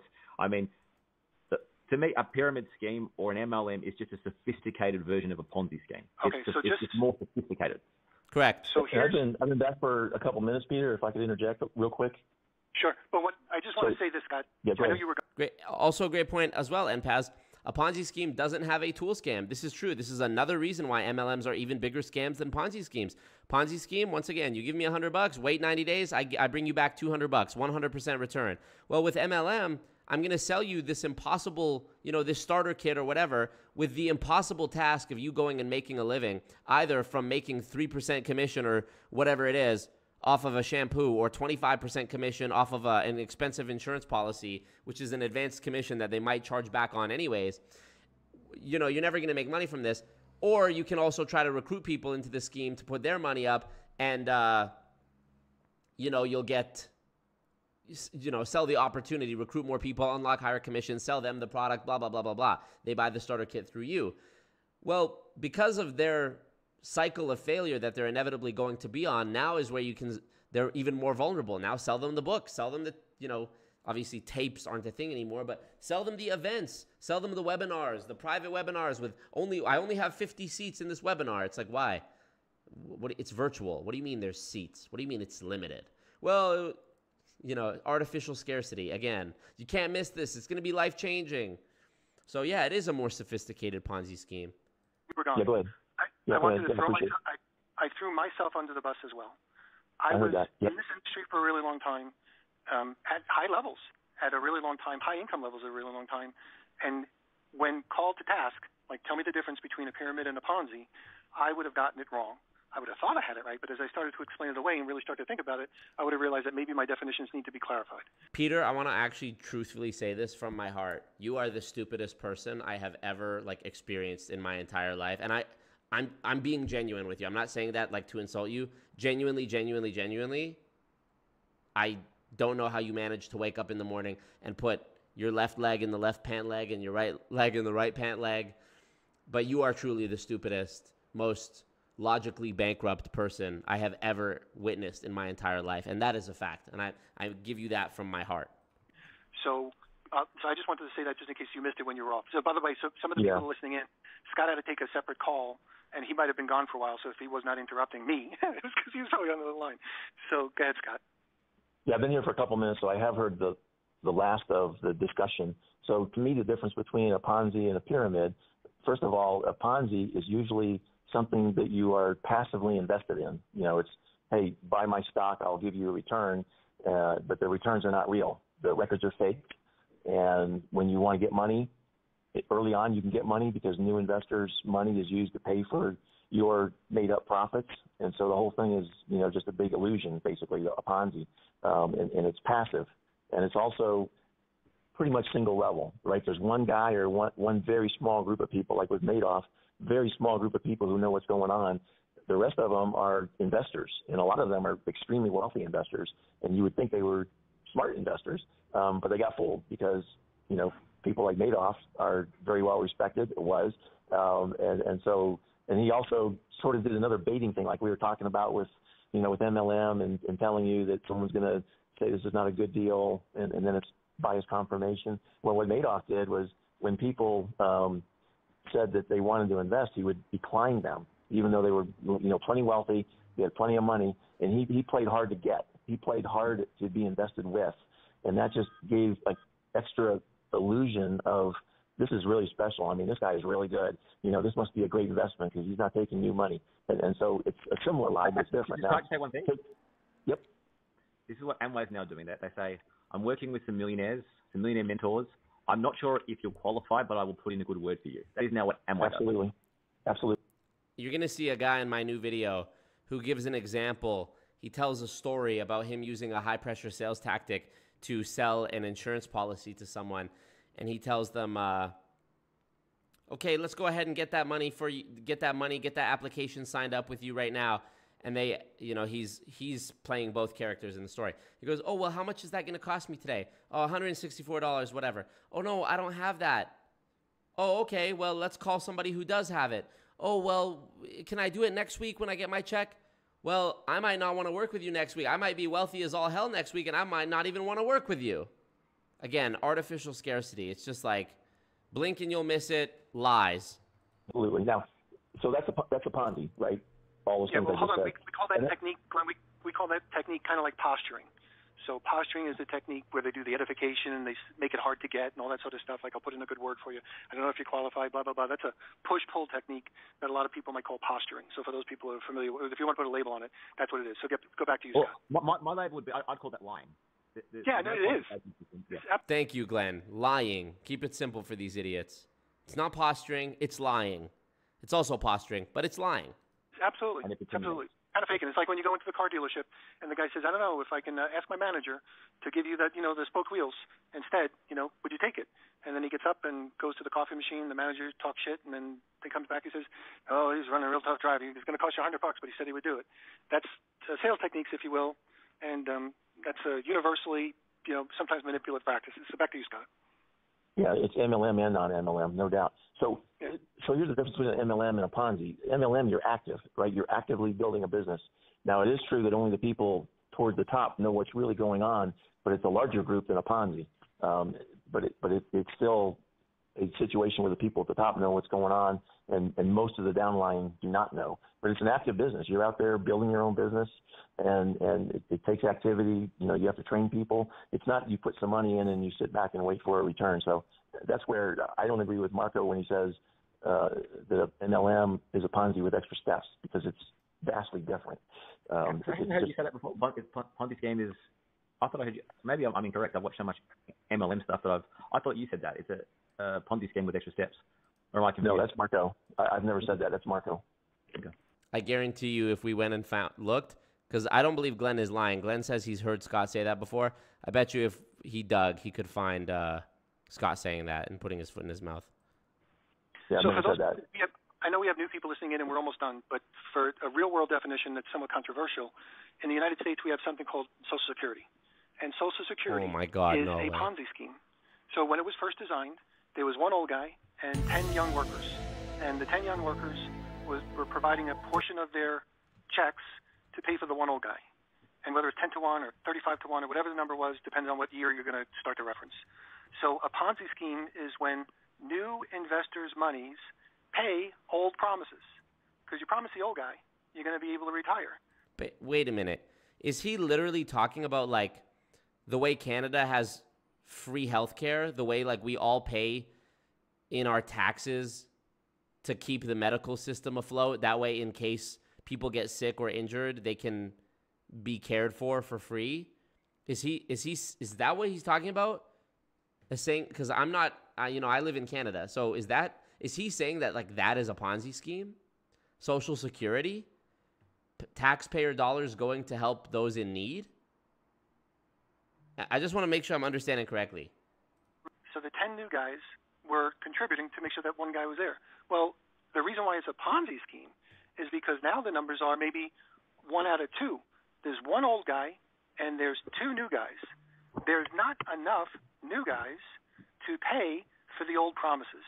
So that's kind of like a Ponzi. So Social Security in the United States is a Ponzi. I don't know what it might be in Canada. But you don't have enough new people to be able to Oh, that's our pension plan. Okay, so he's wrong. support the old promises that you are making. That's why I say, Glenn, how is Amway a Ponzi?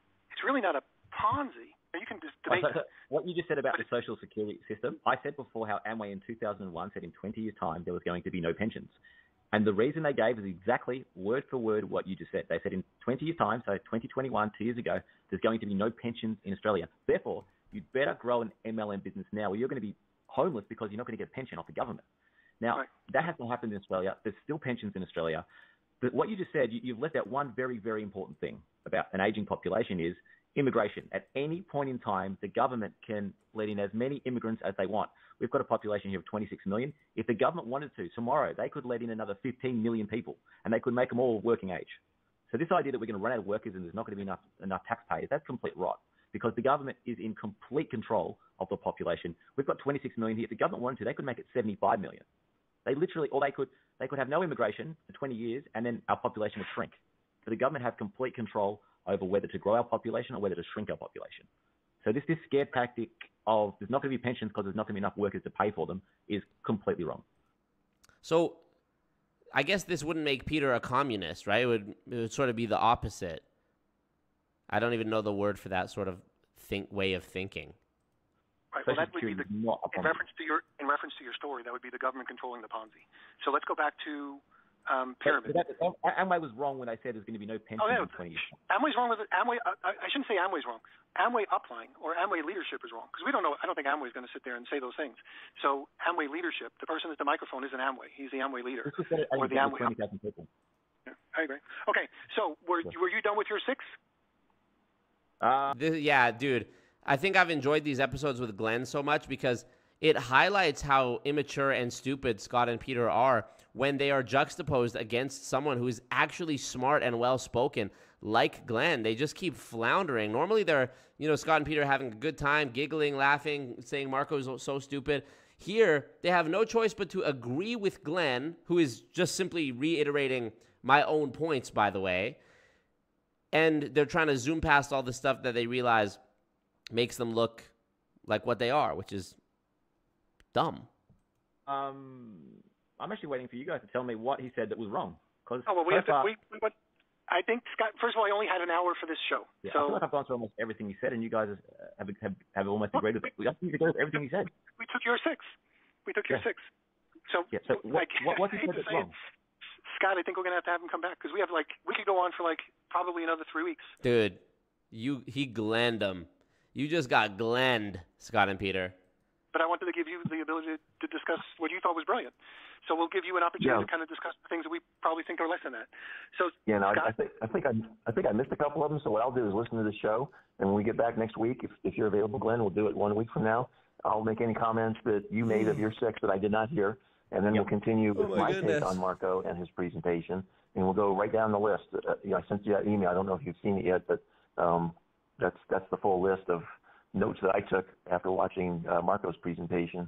Um, so yeah, I think we can wrap it for now and meet in a week. How's that Can, can I just finish with, with something though, guys? Um, Yes, I'm just now having a look at your, your channel, um, Scott. You've got some really, really good stuff on here.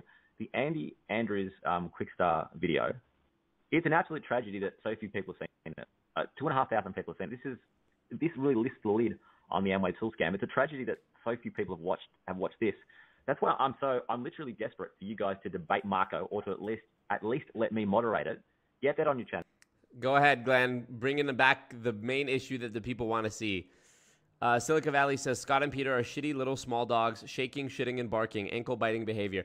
Scott and Peter are those little white dogs with like the the scruffy hair and the little eye boogers. That's them. your channel. I mean, your channel's only got 73, su- sorry, 70 subs. The content on your channel deserves thousands of subs. So, Ooh, he's egging him on by stroking his that you have ego. I really like this. Let's listen. so but On Marco can help you channel? grow the channel. on my YouTube channel. Yeah, And I I agree. I think Well, but we're I think we're not between interested the- uh, in throwing. You, you, if you guys, anyway, if you so let's debate. Marco, you'll have We're not going to debate Marco. Marco's a pathological liar. That's the reason why we're talking to you as opposed to him, because we can Then expose me then. Then debate me and you'll be able to point out my lies. You can prepare, have examples, and go on. Have a logical conversation with you. We can't with Marco. Marco manipulates the truth. He doesn't know how to tell the truth. He constantly does it all the time. I'm not talking to Marco. So I I'll talk to you. help you get more subscribers. So here, I'm not worried about more subscribers.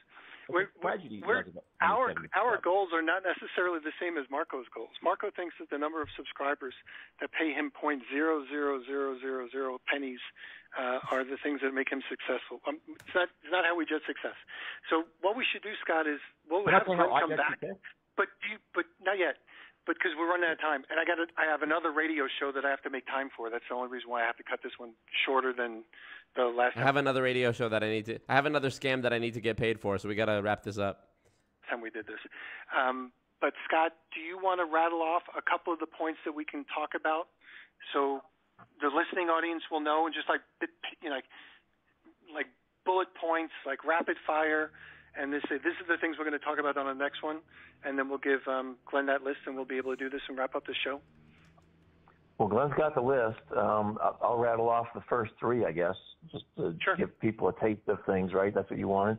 Um, Yep, that's it. So I also I also noted the the high school friend. Well, this is the friend that he cheated off of his math test. Marco cheated off of this friend's math test in high school. So that just goes to character. Uh, the next one, um, Well, I, I, he guys, did make I, I cheated a couple of times in school. You can't hold that against me. Woo! Once, I, I, did, I, I, didn't mention Glenn. I just mentioned Marco. Um, But I, I think a lot of kids cheated once or twice in school. You can't. That doesn't make them bad. L- Glenn, you are my boy. Bad person. I've made well, it that No, but together, hold that on, hold on one together. second. We're not debate. That's that's what we'll talk about next week. I want this guy to rattle them off. There you go. so the the people listening in could say that we have like we just did in Stonewall Glenn. So we listened to your six. So Scott, rattle off like five, but go fast. Like go fast without Okay. any explanations. Yeah, he, he said he doesn't know what a pyramid scheme is. He doesn't know what a legitimate MLM is. Um, he, he uses various words, uh, alternate words for MLM, as if they were brand new. They've been around for decades. Um, I'll stop there. There's there's there's many many more, and, and we'll get into I them next week. But Nobody makes any sales and, and nobody makes any money selling anything. And Glenn bodies them with every one of the topics he brought up. They were forced, they had no choice but to agree because they knew Glenn was right when they were faced with a greater logic. And all they contributed when when the floor was open to them, namely Scott, Marco cheated on his math test in high school. Insane. And direct sales, direct sales is dead. Um, you could buy all your products from Amazon. I mean, those types of issues are the ones we're going to discuss. So, so Glenn, it was nice to hear Right. your softball fix. but, Hey, hey, but we're going to come back. Well, Can I just, I just, I just want to leave you guys Yes, with what I consider to be the definition of success when it comes to MLM, being an anti-MLM or you know, bunker. That is to get as many people as you possibly can to view you and listen to you. And the way that you guys are going to increase from 70 subscribers to thousands of subscribers is to debate Marco and stick it on your channel. Yes. Then you will get thousands of subscribers and thousands of people are going to hear what Scott has to say about the Amway tool scam. And I'm desperate for people to learn more about the Amway tool scam. And Scott has got extreme, uh, an extremely good knowledge. Glenn, you are a sly, silver tongued, devilish dog. You are. the way, the way he is like, appe- stroking their ego and trying to goad them. Oh, dude, so clever. I love it. Glenn, yes, you are the best. of the tool scam. So it's a tragedy that he's only got 70 subscribers. We need to get more people listening to Scott about Dexter Yager. Oh, Scott is so bricked getting all these compliments. Npass says Peter is so eager to get off this call, his ass is sore from getting spanked by Glenn for the last hour. Oh goodness, pussy. about and about the horrendous Amway tool scam. And the way to do it is to debate Marco. So please, just think about it, guys. Please. Think about debating it. Please. We'll be back. So we're done. So thanks, guys, for listening in. We'll figure out when we're going to be able to have Glenn back. Glenn, thanks for being here. You're a great sport. And um, Thank you we'll very speak to everybody next time. Thanks, guys. You've been listening to Building Fortunes Radio on buildingfortunesradio.com. Thanks for listening. Be sure to check us out every Friday oh, I at 5 p.m. Eastern again. Time for the designated Building Fortunes The horrendous Amway tool scam. And the way to do it is to debate Marco. So please, just think about it, guys. Please. Think about debating it. Please. We'll be back. We'll be back. Oh, God, his ass. Glenn, this cult salutes you, Glenn. Glenn, Glenn, Glenn, Glenn, Glenn, Glenn. Wow. There's a Drake song called When to Say When? Huh. When to Say Glenn. Crazy. Calling him a great sport like they won. Insane. He cut him off so chicken. Ran off his own show. He ran him out of town like the goddamn sheriff. This is my role play of Glenn. Ready?